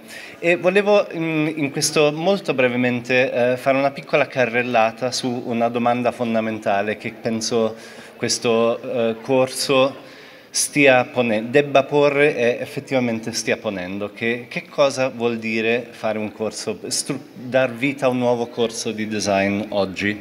E volevo guardarlo specificamente dal punto di vista di una definizione, fra tante definizioni che sono, sono state date, che possono essere date al, um, eh, di che cos'è il design. Il design come l'idea di un, un'enfasi del design sull'idea di vivere insieme come modo di in qualche maniera progettare il nostro modo di stare insieme su questo pianeta. E in particolare volevo parlare di tre progetti riferendomi alle tre parole di questo corso, Planet Life Design, ma in ordine inverso, quindi partendo da appunto questa idea um, del design. Vediamo se avanza. Ecco. Il primo è che cosa effettivamente costituisce, quali possono essere gli obiettivi e poi secondariamente le espressioni di un corso di design oggi. Eh, parte del, diciamo, della sfida, credo, forse un, un, aspetto fortunato è la grande crescita di popolarità che il design ha oggi, ma questo devo dire è anche una sfida, soprattutto in Italia, un paese che, come Patrizia ha già menzionato, è proprio patria di tantissimi eh, fra i più noti designer del mondo. Lei ha parlato di Sozzas, ma ovviamente possiamo ricordarne tantissimi altri, da Enzo Mari, alcuni vivi, Alessandro Mendini che ci ha lasciato da poco, Vico Magistretti, proprio tutti questi eroi che conosciamo come i maestri del design che in qualche maniera hanno lasciato un'eredità abbastanza cospicua che ci fanno pensare, beh, il design che cos'è? È la produzione di oggetti che ci aiutano a vivere meglio, oggetti che sono belli, che fa piacere avere intorno. E questa è una delle prime domande che mi sono posto alla Design Academy. Cosa vuol dire oggi un, eh, eh, strutturare, dare un, una visione a una scuola di design? Questa è una seduta forse fra le più illustri dei nostri tanti illustri eh, laureates, um, Marcel Wanders, un designer che sicuramente tantissimi di voi conoscono, che rappresenta in qualche maniera questa scuola del design olandese, che ha fatto questa bellissima seduta che è con materiali aeronautici, che sembra un pezzo di corda annodato e che eh, fa parte della collezione di MoMA, un oggetto sperimentale, effimero, straordinario sotto tanti punti di vista. Eppure, secondo me, questa è, un, è, una forma di design che è assolutamente necessaria, una concezione di progetto che dobbiamo tenerci stretto, da, da, cui dobbiamo eh, imparare, ma è soltanto una delle possibili espressioni del design. E, e vorrei ricordarne un'altra che secondo me Planet Life Design accenna, che è una visione strategica del design. Eh, questo è un rapporto del 1908 del, eh, della AT&T, una delle grandi eh, aziende di comunicazione americane, ehm, che parla per la prima volta il CEO di questo, Andrew Vail, eh, CEO di questa eh, azienda, in questo testo menziona per la prima volta una parola che è stata in qualche maniera rivoluzionaria, che è network effect, l'effetto di rete che sostanzialmente vuol dire una cosa estremamente semplice, perché è pertinente all'AT&T alla comunicazione, perché lui ha avuto l'intuizione che il telefono, oggetto di recente in, eh, invenzione, se io ho un telefono, per quanto possa essere bello, per quanto possa avere eh, funzionalità straordinarie che poi lui non poteva neanche immaginare cosa sarebbe arrivato sotto forma di iPhone, eccetera, ma se ce l'ho solo io, questo oggetto è fondamentalmente inutile e paradossalmente più una, un, una delle qualità, eh, di, eh, il valore di questo oggetto è governato da una cosa che io non posso controllare, ovvero quante altre persone ce l'hanno, perché più ce l'hanno e più questa cosa diventa straordinaria, così come gli oggetti che tutti abbiamo in tasca oggi che ci permettono di raggiungere istantaneamente, gratuitamente chiunque da qualsiasi parte del pianeta, questo è l'effetto rete. E questa è stata una cosa che è stato diciamo, completamente rivoluzionario nel design, ci è voluto anche tanti anni per comprendere il reale significato di questo, ma questo significato oggi l'abbiamo compreso bene. Il progetto di oggetti che sono scalable, che possono avere un aumento di valore secondo l'aumento dell'utilizzo di questo. E questa è una cosa che in ambito tecnologico conosciamo molto bene, ma volevo farvi vedere molto velocemente un progetto strategico di questo tipo in ambito completamente diverso, è quello culturale. Paolo ha um, accennato al mio ruolo come direttore artistico di Matera 2019 e in questo ambito um, una delle cose, vediamo se Ecco, eh, una delle, delle, prime proposte è stato di utilizzare in maniera strategica tutto quel budget destinato alle eh, allestimenti, ai, alle produzioni, ai, te, ai um, scenografie teatrali e quant'altro, che è un budget estremamente cospicuo che molto spesso finisce a essere oggetto semplicemente di una gara di ban- un bando di gara che chi il miglior offerente arriva con dei camion, sbaracca tutto, eh, cioè monta tutto, poi lo sbaracca e lo riporta via. E questo sul territorio effettivamente molto spesso purtroppo poi diventa eh, anche contesto di eh, situazioni in cui magari dal nord economie che sono già molto più affermate poco eh, rimane sul territorio. E quindi la, la proposta è stata di formare un Open Design School, una scuola capace di costruire da sé, imparando e dando anche lavoro alle persone, di costruire tutto quello che Matera 2019 aveva bisogno. E questo è stato il, un, un, momento in cui ehm, abbiamo stabilito una collaborazione con Lukas Wegwert, un designer tedesco, che ha, prodotto, che ha proposto l'idea di mh, produrre attraverso il taglio laser, quindi con eh, metallico, il plasma, non so esattamente quale, eh, un, un, un, modulo che permettesse la maggior possibile flessibilità e anche e soprattutto riutilizzabilità di strutture che potevano essere destinate a un ambito, un, un, un, range straordinario e soprattutto poteva essere autoprodotto direttamente in Matera. Questi sono diventati palcoscenici, spalti, eh, cose di ogni genere, fra l'altro di straordinaria bellezza, un'estetica completamente diver- diversa da quella a cui siamo abituati in questi contesti forse, ma di maggior valore anche per questo, perché non erano standard, si percepiva anche eh, visivamente che era qualcosa di completamente diverso. La cosa bella è che ha una versatilità straordinaria che il, anche dopo che il designer insieme a una serie di laboratori aveva stabilito diciamo, la, la, forma dei moduli, non poteva prevedere tutto un po' come il meccano e il Lego.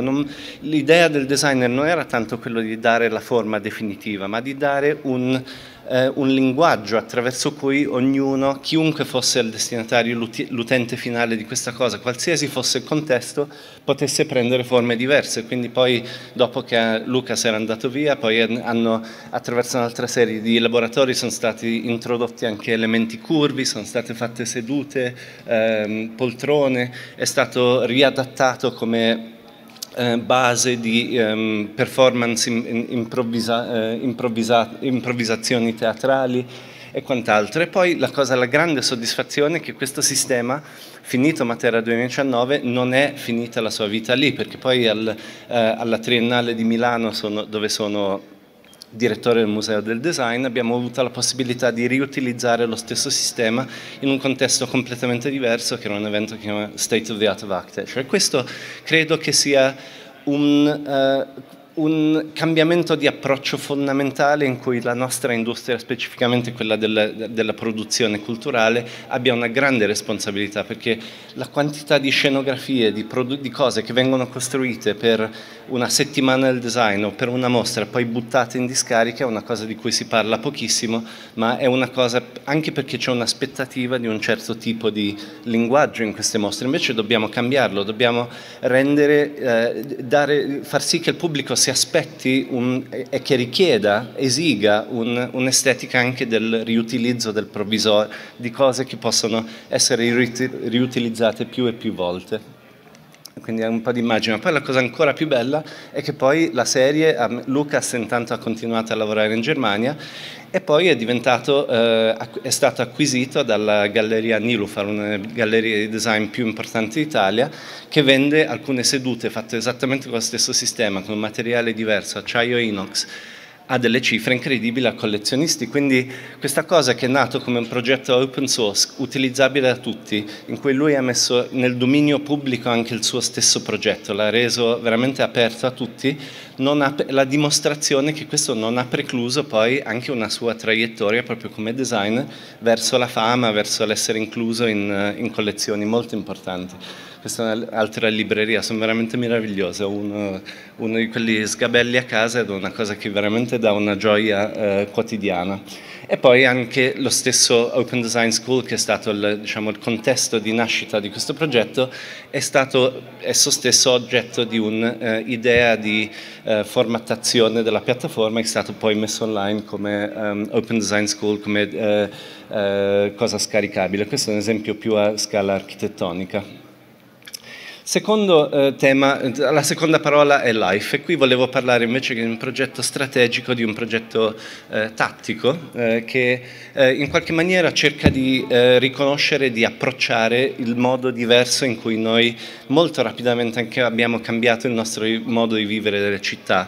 Un esempio di questo è una mappa della eh, saturazione di Airbnb nel 2016 al centro di Firenze che vedete che si, credo che il numero sia a un certo punto arrivato arrivato tipo al 25 al 30% di case centro del, nel centro storico che sono effettivamente disponibili su Airbnb e che quindi sono luogo di residenza di un pubblico diciamo, transitorio, quindi di, di cittadini eh, temporanei della città di Firenze. Un altro è il nostro modo anche come, come gruppo di eh, eh, dare un segnale di significato e di importanza. Questa è un'immagine che mi ha colpito molto di Hillary Clinton durante l'ultima campagna elettorale, in cui diciamo, questo momento di incontro col pubblico ritualmente viene un'inversione rituale in cui il massimo eh, segno di apprezzamento di, di, di, è la registrazione dando le spalle effettivamente a questa persona.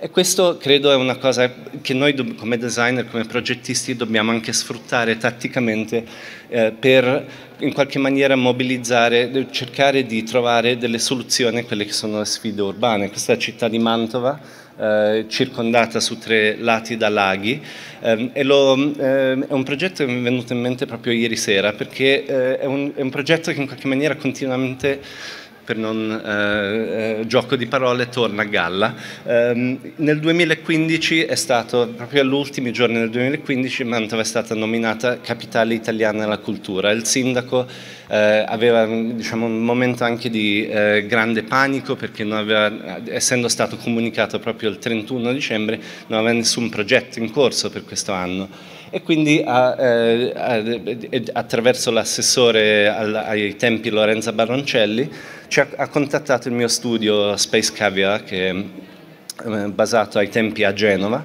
e ha chiesto perché non proviamo a realizzare in tempi strettissimi con un budget praticamente zero un, un, intervento che però non sia autocelebrativo semplicemente della città, ma che cerchi di portare, nonostante il budget limitatissimo, un intervento duraturo alla città. E immediatamente abbiamo individuato come oggetto di un possibile progetto questi laghi che circondano la città che pur essendo straordinari e meravigliosi da ormai decenni sono in qualche maniera ignorati o a quella città in qualche maniera eh, volto le spalle per un motivo molto semplice che questi laghi sono effettivamente molto molto inquinati, non soltanto per la presenza di industrie a ridosso che ormai non sono più attive, ma anche per allevamenti di um, suini e cose che sono più a monte che vengono regolarmente scaricati nei fiumi, in questi, nei fiumi che affluiscono nei laghi. E in qualche maniera il, il, sindaco ha detto guarda vi lancio questa sfida come possiamo far riprendere coscienza alla città della presenza di questi laghi perché nel momento in cui la città se ne accorge poi è la volta buona che riusciamo a farne qualcosa. Data la straordinaria fretta anche il budget molto limitato che avevamo abbiamo dovuto trovare delle, delle soluzioni appunto tattiche e eh, ci siamo ehm, dati il, eh, eh, l'obiettivo di costruire in qualche maniera una via d'accesso ai laghi per i cittadini.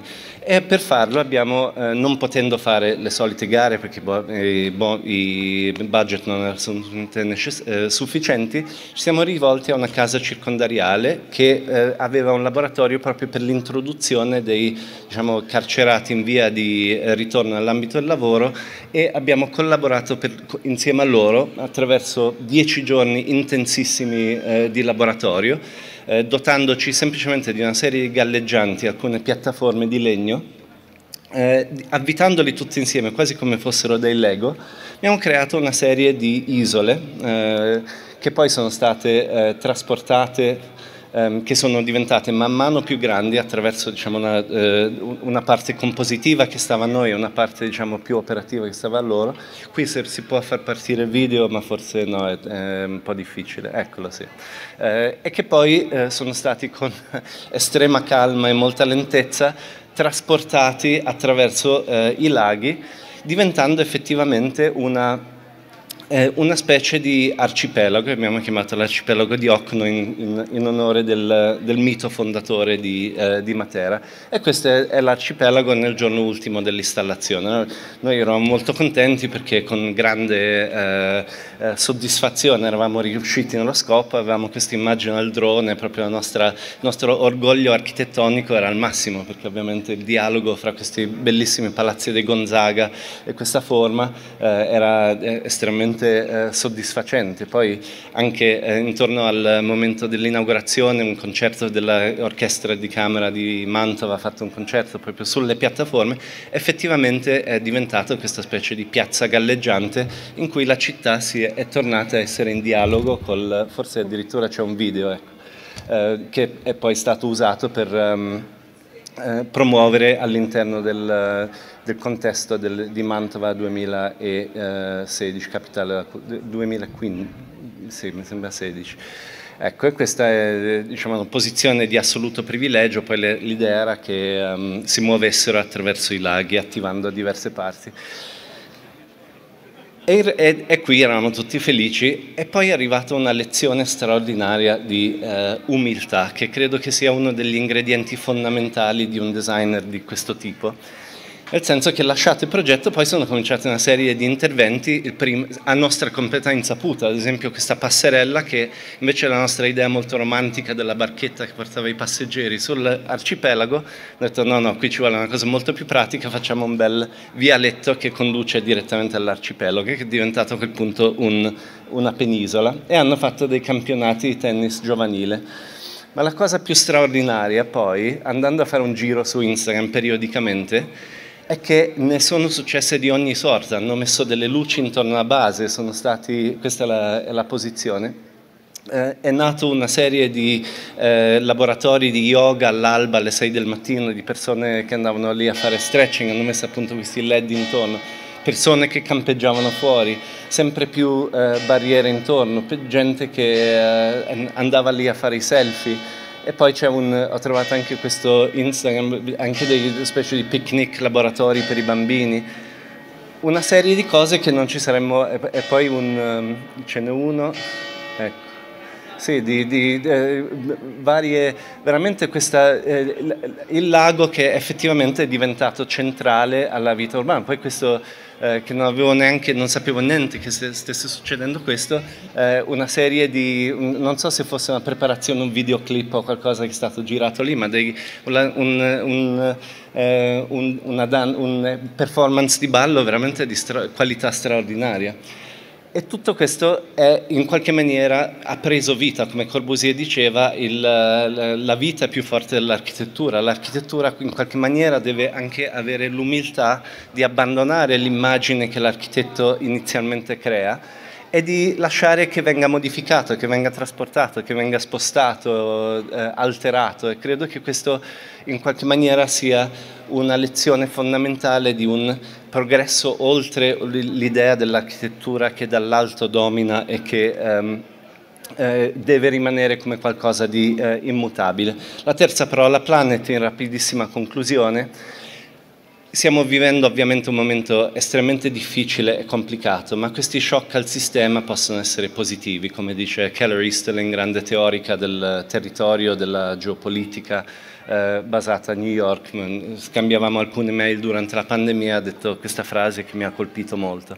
Io credo che questo sia vero, meglio che le, le, le, i shock al sistema possano essere positivi eh, se ne è parlato ehm, già del, di quello che è stato le, le conseguenze ambientali, di un, un rallentamento che ci ha dimostrato che se vogliamo il cambiamento è possibile. Eh, il, le, le, per la prima volta, ehm, cioè cosa che fra l'altro io non sapevo, che di eh, nitro, nitrogen dioxide l'Italia avesse una, la Lombardia una delle concentrazioni più alte che attraverso il corso del lockdown è molto diminuito. Ma anche episodi completamente surreali, tipo eh, messicani che eh, bloccano le frontiere per impedire agli americani, come in quel film di fantascienza bellissimo The Day After, che gli americani non possano eh, fuggire attraverso le frontiere per sfuggire alla situazione eh, a casa loro. Eh, ma anche situazioni di grande ehm, problematica a, a, causa della diseguaglianza, la forte diseguaglianza. Chi poteva permettersi questi in-person education from the safety of your home, questo, questa bolla di, eh, che incapsula chi, chi, è benestante ma lascia completamente fuori chi non può permettersi cose del genere. E anche storicamente riconoscere il fatto che le pandemie sono state anche il contesto del, dell'invenzione della guerra batteriologica, l'assalto di Caffo nel 1600 in cui sono stati lanciati cadaveri attraverso eh, le mura della città per, eh, per finire un assedio che poi vincitori non ce ne sono stati perché ovviamente la peste nera ha infettato tutti i coinvolti. E questa immagine che ci riporta a questa idea di pianeta, che siamo tutti insieme, un'immagine straordinaria che penso veramente è stata quella che più attraverso il corso del XX secolo ha cambiato la cultura umana. Un'immagine Earthrise scattata da uh, William Anders il, la, il giorno, la notte prima di Natale del 1968, in cui per la prima volta si percepiva la, la Terra che sale come eh, sull'orizzonte della Luna, immagine non preparata, non, non, non c'era aspettativa di vedere questa straordinaria cosa, che poi è finito sulla copertina di quello che io suggerisco a tutti voi, soprattutto studenti, di leggere come una specie di Bibbia del Planet Life Design. Operating Manual for Spaceship Earth di Richard Buckminster Fuller, un designer straordinario, visionario che è stato il pioniere di questa idea come, del design non come produttrice di oggetti, ma come produttrice di strategie che ci possono permettere di vivere insieme eh, felicemente ed equil- equilibratamente su questo pianeta. Quindi con questo concludo, vi ringrazio e auguro il massimo della buona fortuna a questo meraviglioso nuovo corso. Grazie a tutti. Grazie Joseph. Fra l'altro lui ci ha dato subito una grande apertura internazionale. Patrizia prima ha parlato della possibilità di abitare altri pianeti e due anni fa, grazie a Joseph, noi abbiamo qui ad Assisi con i nostri studenti di architettura partecipato alla presentazione di una città su Marte presentata da Bjarke Ingels, il leader di Big. Allora, il io sempre occupo un po' malamente il palcoscenico. Allora, il quarto laboratorio, eh, salute e sicurezza, mi piace citare insegnamenti perché abbiamo residenze protette, safety fashion design, psicologia clinica e dinamica. Abbiamo pensato all'avvocato Francesca Di Mauro, che è presidente dell'Istituto Serafico di Assisi, che oltre ad essere una eccellenza a livello internazionale, visto che noi che ci occupiamo di architettura, è stato anche una delle ultime opere donate alla nostra terra da Ugo Tarchi, un grande architetto fiorentino che noi abbiamo studiato a lungo. Eh, lei è anche presidente della scuola sociopolitica Giuseppe Toniolo della diocesi Assisi Nocera Umbra Gualdo Tadino. Prego. Buongiorno a tutti. Eh, io non posso chiaramente eh, che portarvi l'esperienza, perché non ho eh, le competenze e tutta la, la, professionalità delle persone che mi hanno preceduto. E l'esperienza del Serafico è di chi vive accanto a bambini e ragazzi con disabilità plurime, gravi e gravissime. Un'opera che il prossimo anno raggiunge il traguardo dei 150 anni e, in, e ogni giorno da noi noi ci occupiamo di circa 150-130 fra bambini e ragazzi, quindi diciamo un'esperienza lunga nella storia maturata in tal senso. E, mh, ragazzi che sono prigionieri del silenzio, dell'immobilità, che sono prigionieri no, del, del buio, della propria mente. Ma non immaginate questi luoghi, guai a immaginare questi luoghi come luoghi di sofferenza e di dolore. Perché io vi assicuro che alla scuola dei ragazzi, accanto ai ragazzi, ho provato le gioie più forti della mia vita.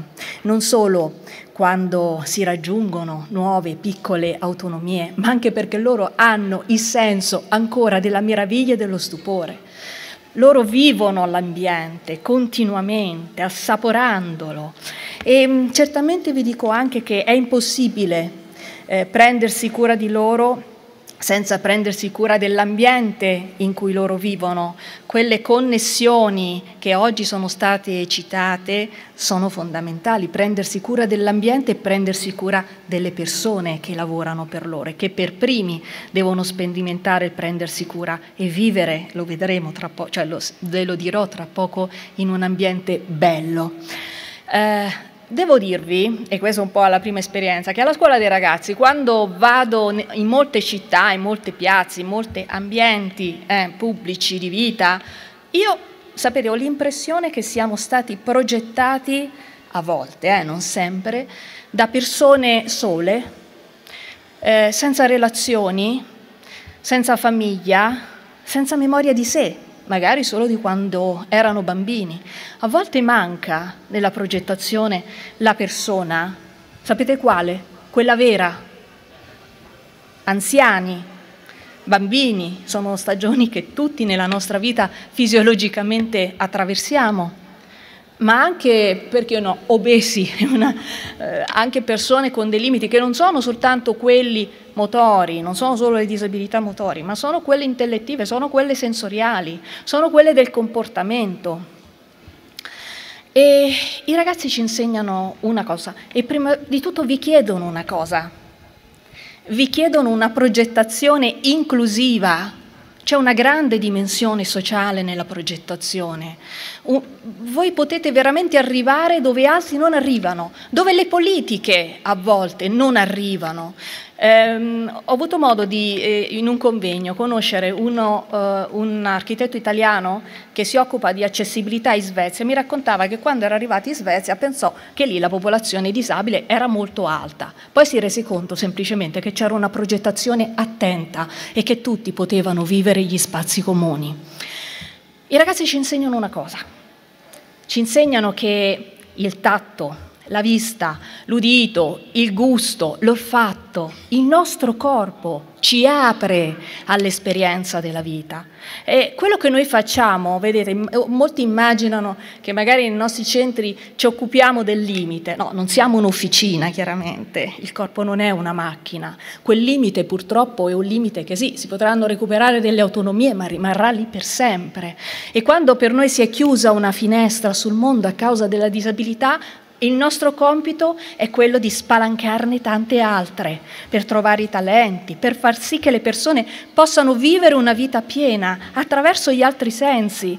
E allora è così che io spero che voi impariate a progettare con tutti i vostri sensi, immaginare di spalancarle sempre tutte quelle finestre che si aprono sulla vita. Non pensate che così la progettazione ne risulti limitata, vincolata. Tante volte, con, parlando con i tecnici, no, vengono da noi, ci fanno delle proposte e poi rimangono all'inizio un po' eh, magari delusi perché quello che hanno pensato non è poi realizzabile o fruibile non è una limitazione. Poi scoprono l'entusiasmo di abbracciare la vita accanto ai ragazzi, rendendogli fruibile no, via via tutti, tutti, gli spazi. E allora immaginare, piccole pillole vi posso dire, immaginare se noi pensiamo a un udente quanto sia importante eh, che eh, sia importante ascoltare con la vista, cioè rendere per esempio i rumori anche visibili, soprattutto quando quel rumore è associato all'annuncio di un pericolo,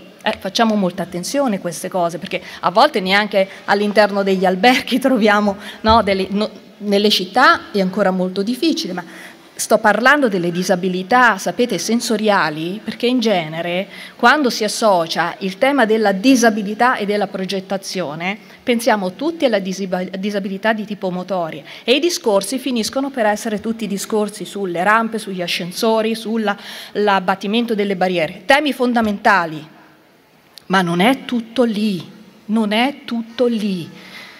Penso alla disabilità visiva, che necessita di ripensare gli spazi in modo tattile, per poter percepire l'ambiente. Uno, uno scultore eh, cieco, Tagliaferri, ad un suo intervistatore, lo, lo intervistava alla Repubblica, a un certo punto gli disse, ma lei entrando ha visto cosa c'era alla sua sinistra? Perché io credo che lei abbia l'idea dell'insieme di quello che ha visto. Io ho l'idea dei particolari. Le persone cieche costruiscono l'insieme partendo dai particolari. E allora l'attenzione della materia, l'attenzione di quelle piccole cose che fanno, fanno l'insieme, l'importanza dei contrasti per gli ipovedenti, che altrimenti non potrebbero mettere a fuoco, che altrimenti non potrebbero orientarsi all'interno degli ambienti. Noi nel tempo eh, abbiamo fatto un grande laboratorio di progettazione all'interno del Serafico, rivoluzionando tutti, tutti gli spazi. Eh, ma pensate anche al gioco. Ma vi sembra possibile non fare degli oggetti per consentire ai bambini l'esperienza più bella? Perché devono essere condannati a non giocare? Primo penso ai parchi delle città, penso ai parchi dei nostri paesi, molti di voi hanno dei figli, ma non so se avete avuto mai l'esperienza no? dell'esclusione anche con i nostri figli, semplicemente magari per così, per antipatie, litigi del momento. Sia mai che continuiamo ad escludere i bambini, devono poter sognare. E allora anche lì l'esperienza eh, per chi è piccino del libro tattile, quando ancora non, non è in grado di leggere attraverso il braille, quel, toccare il libro e avere l'immagine, sentirla, iniziare a sognare un mondo che non si vedrà mai con gli occhi, ma si vedrà con quelli del cuore se sappiamo accendere gli occhi più importanti della persona. Ma immagino anche i bambini, sapete, ne vedo tanti che non riescono ad avere la presa, no? Non riescono a prendere un oggetto. E allora l'importanza di usare anche la tecnologia, di avere dei sensori che possono attivare quei giocattoli. Noi abbiamo fatto, cerchiamo in tutti gli ambiti veramente di sollecitare le progettazioni con una gran, importante marca di giocattoli, siamo riusciti a fare proprio dei giochi accessibili e c'è anche un'altra disabilità oggi alla quale apportare sempre tanta, tanta attenzione, che è quella, è sono le disabilità intellettive, sono i disturbi eh, dello spettro autistico. Eh, qui c'è un mondo da scoprire, perché mh, innanzitutto rispetto a alcuni fenomeni di disturbi comportamentali dobbiamo imparare a progettare quantomeno i nostri luoghi di cura eh, in modo da non creare pericoli, non creare spigoli, in modo accogliente. Noi abbiamo realizzato, per esempio, in alcune zone delle pareti assolutamente morbide, cioè una ricerca di materiale, abbiamo tolto termosifoni, abbiamo tolto tutto ciò che poteva in qualche modo anche attirare attenzione comportamenti autolesivi, autolesionistici. Ma penso anche a tutti i bambini dello spettro dell'autismo e chi ha anche difficoltà a livello intellettive, che ha bisogno di non trovare eccessivi stimoli eh, anche lì, ha bisogno di trovare degli ambienti accoglienti, un corridoio con porte in fila, blocca. Eh, c'è bisogno di sostenere l'apprendimento. Gli studi, gli studi sull'autismo ci dimostrano che ehm, l'ambiente è, è l'insegnante terzo perché nessun apprendimento eh, potrà effettivamente riuscire se non è progettato in modo tale, per esempio, da Um, creare tutta la sua, porre l'attenzione sul legame, sulla relazione. Voi sapete che eh, le persone con disabilità hanno un grande problema alla, alla socialità, no? a, a, instaurare relazioni, quindi la necessità di avere delle, delle cose semplici. Ora, eh, è chiaro, questo significa che magari all'interno di aule sarà necessario avere almeno sempre un punto in cui il bambino, un luogo in cui il bambino può fare un reset, ri- ritrovare no, il suo spazio, ritrovare il suo silenzio.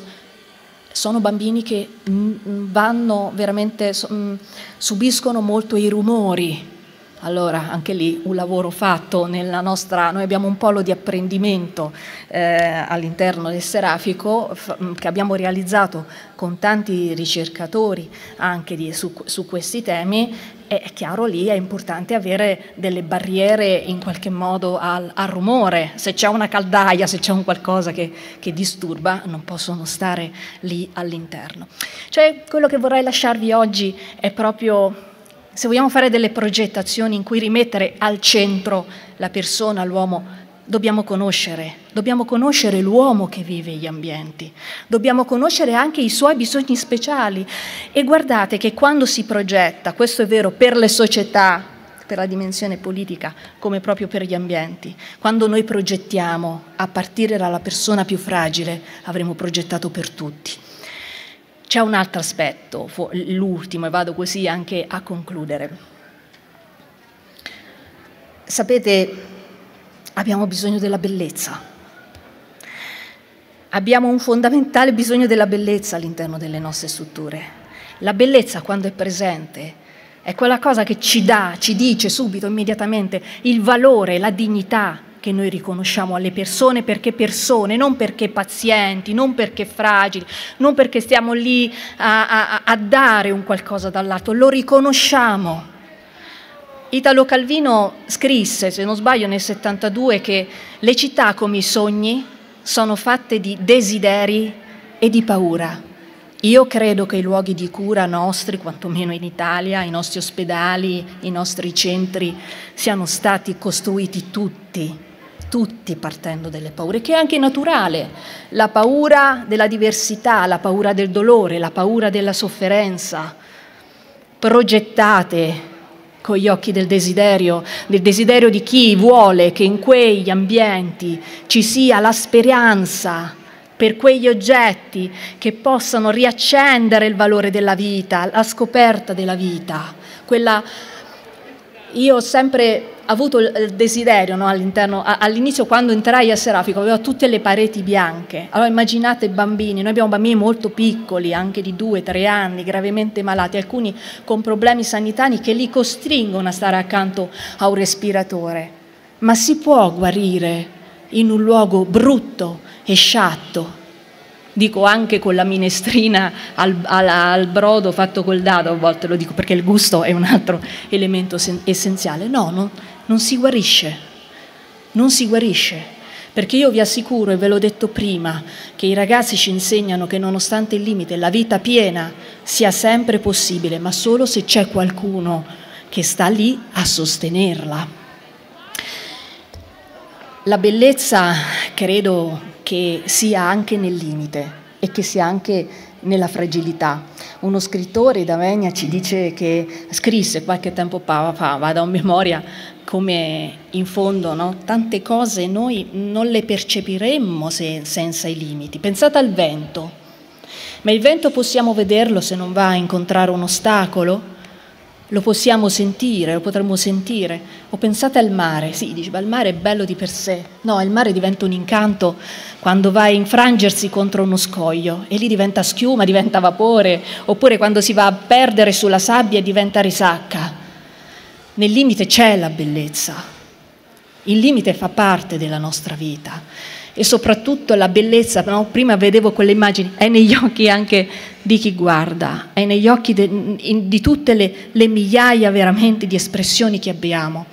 E i ragazzi ci insegnano anche una cosa, io penso che tutti loro sono necessarie, anche proprio la, la, loro presenza fisica alla bellezza di questo mondo, la diversità è necessaria all'armonia di questo mondo. E io vi lascio con un piccolo video fatto dai ragazzi, dai nostri ragazzi, ragazzi del nostro laboratorio eh, di musica e teatro, perché ecco, credo che possa essere per voi un po' anche di, di questo insegnamento, che la progettazione, che l'ambiente sia davvero per tutti. Quando è per tutti è più bello, anche per noi. Grazie e mandiamo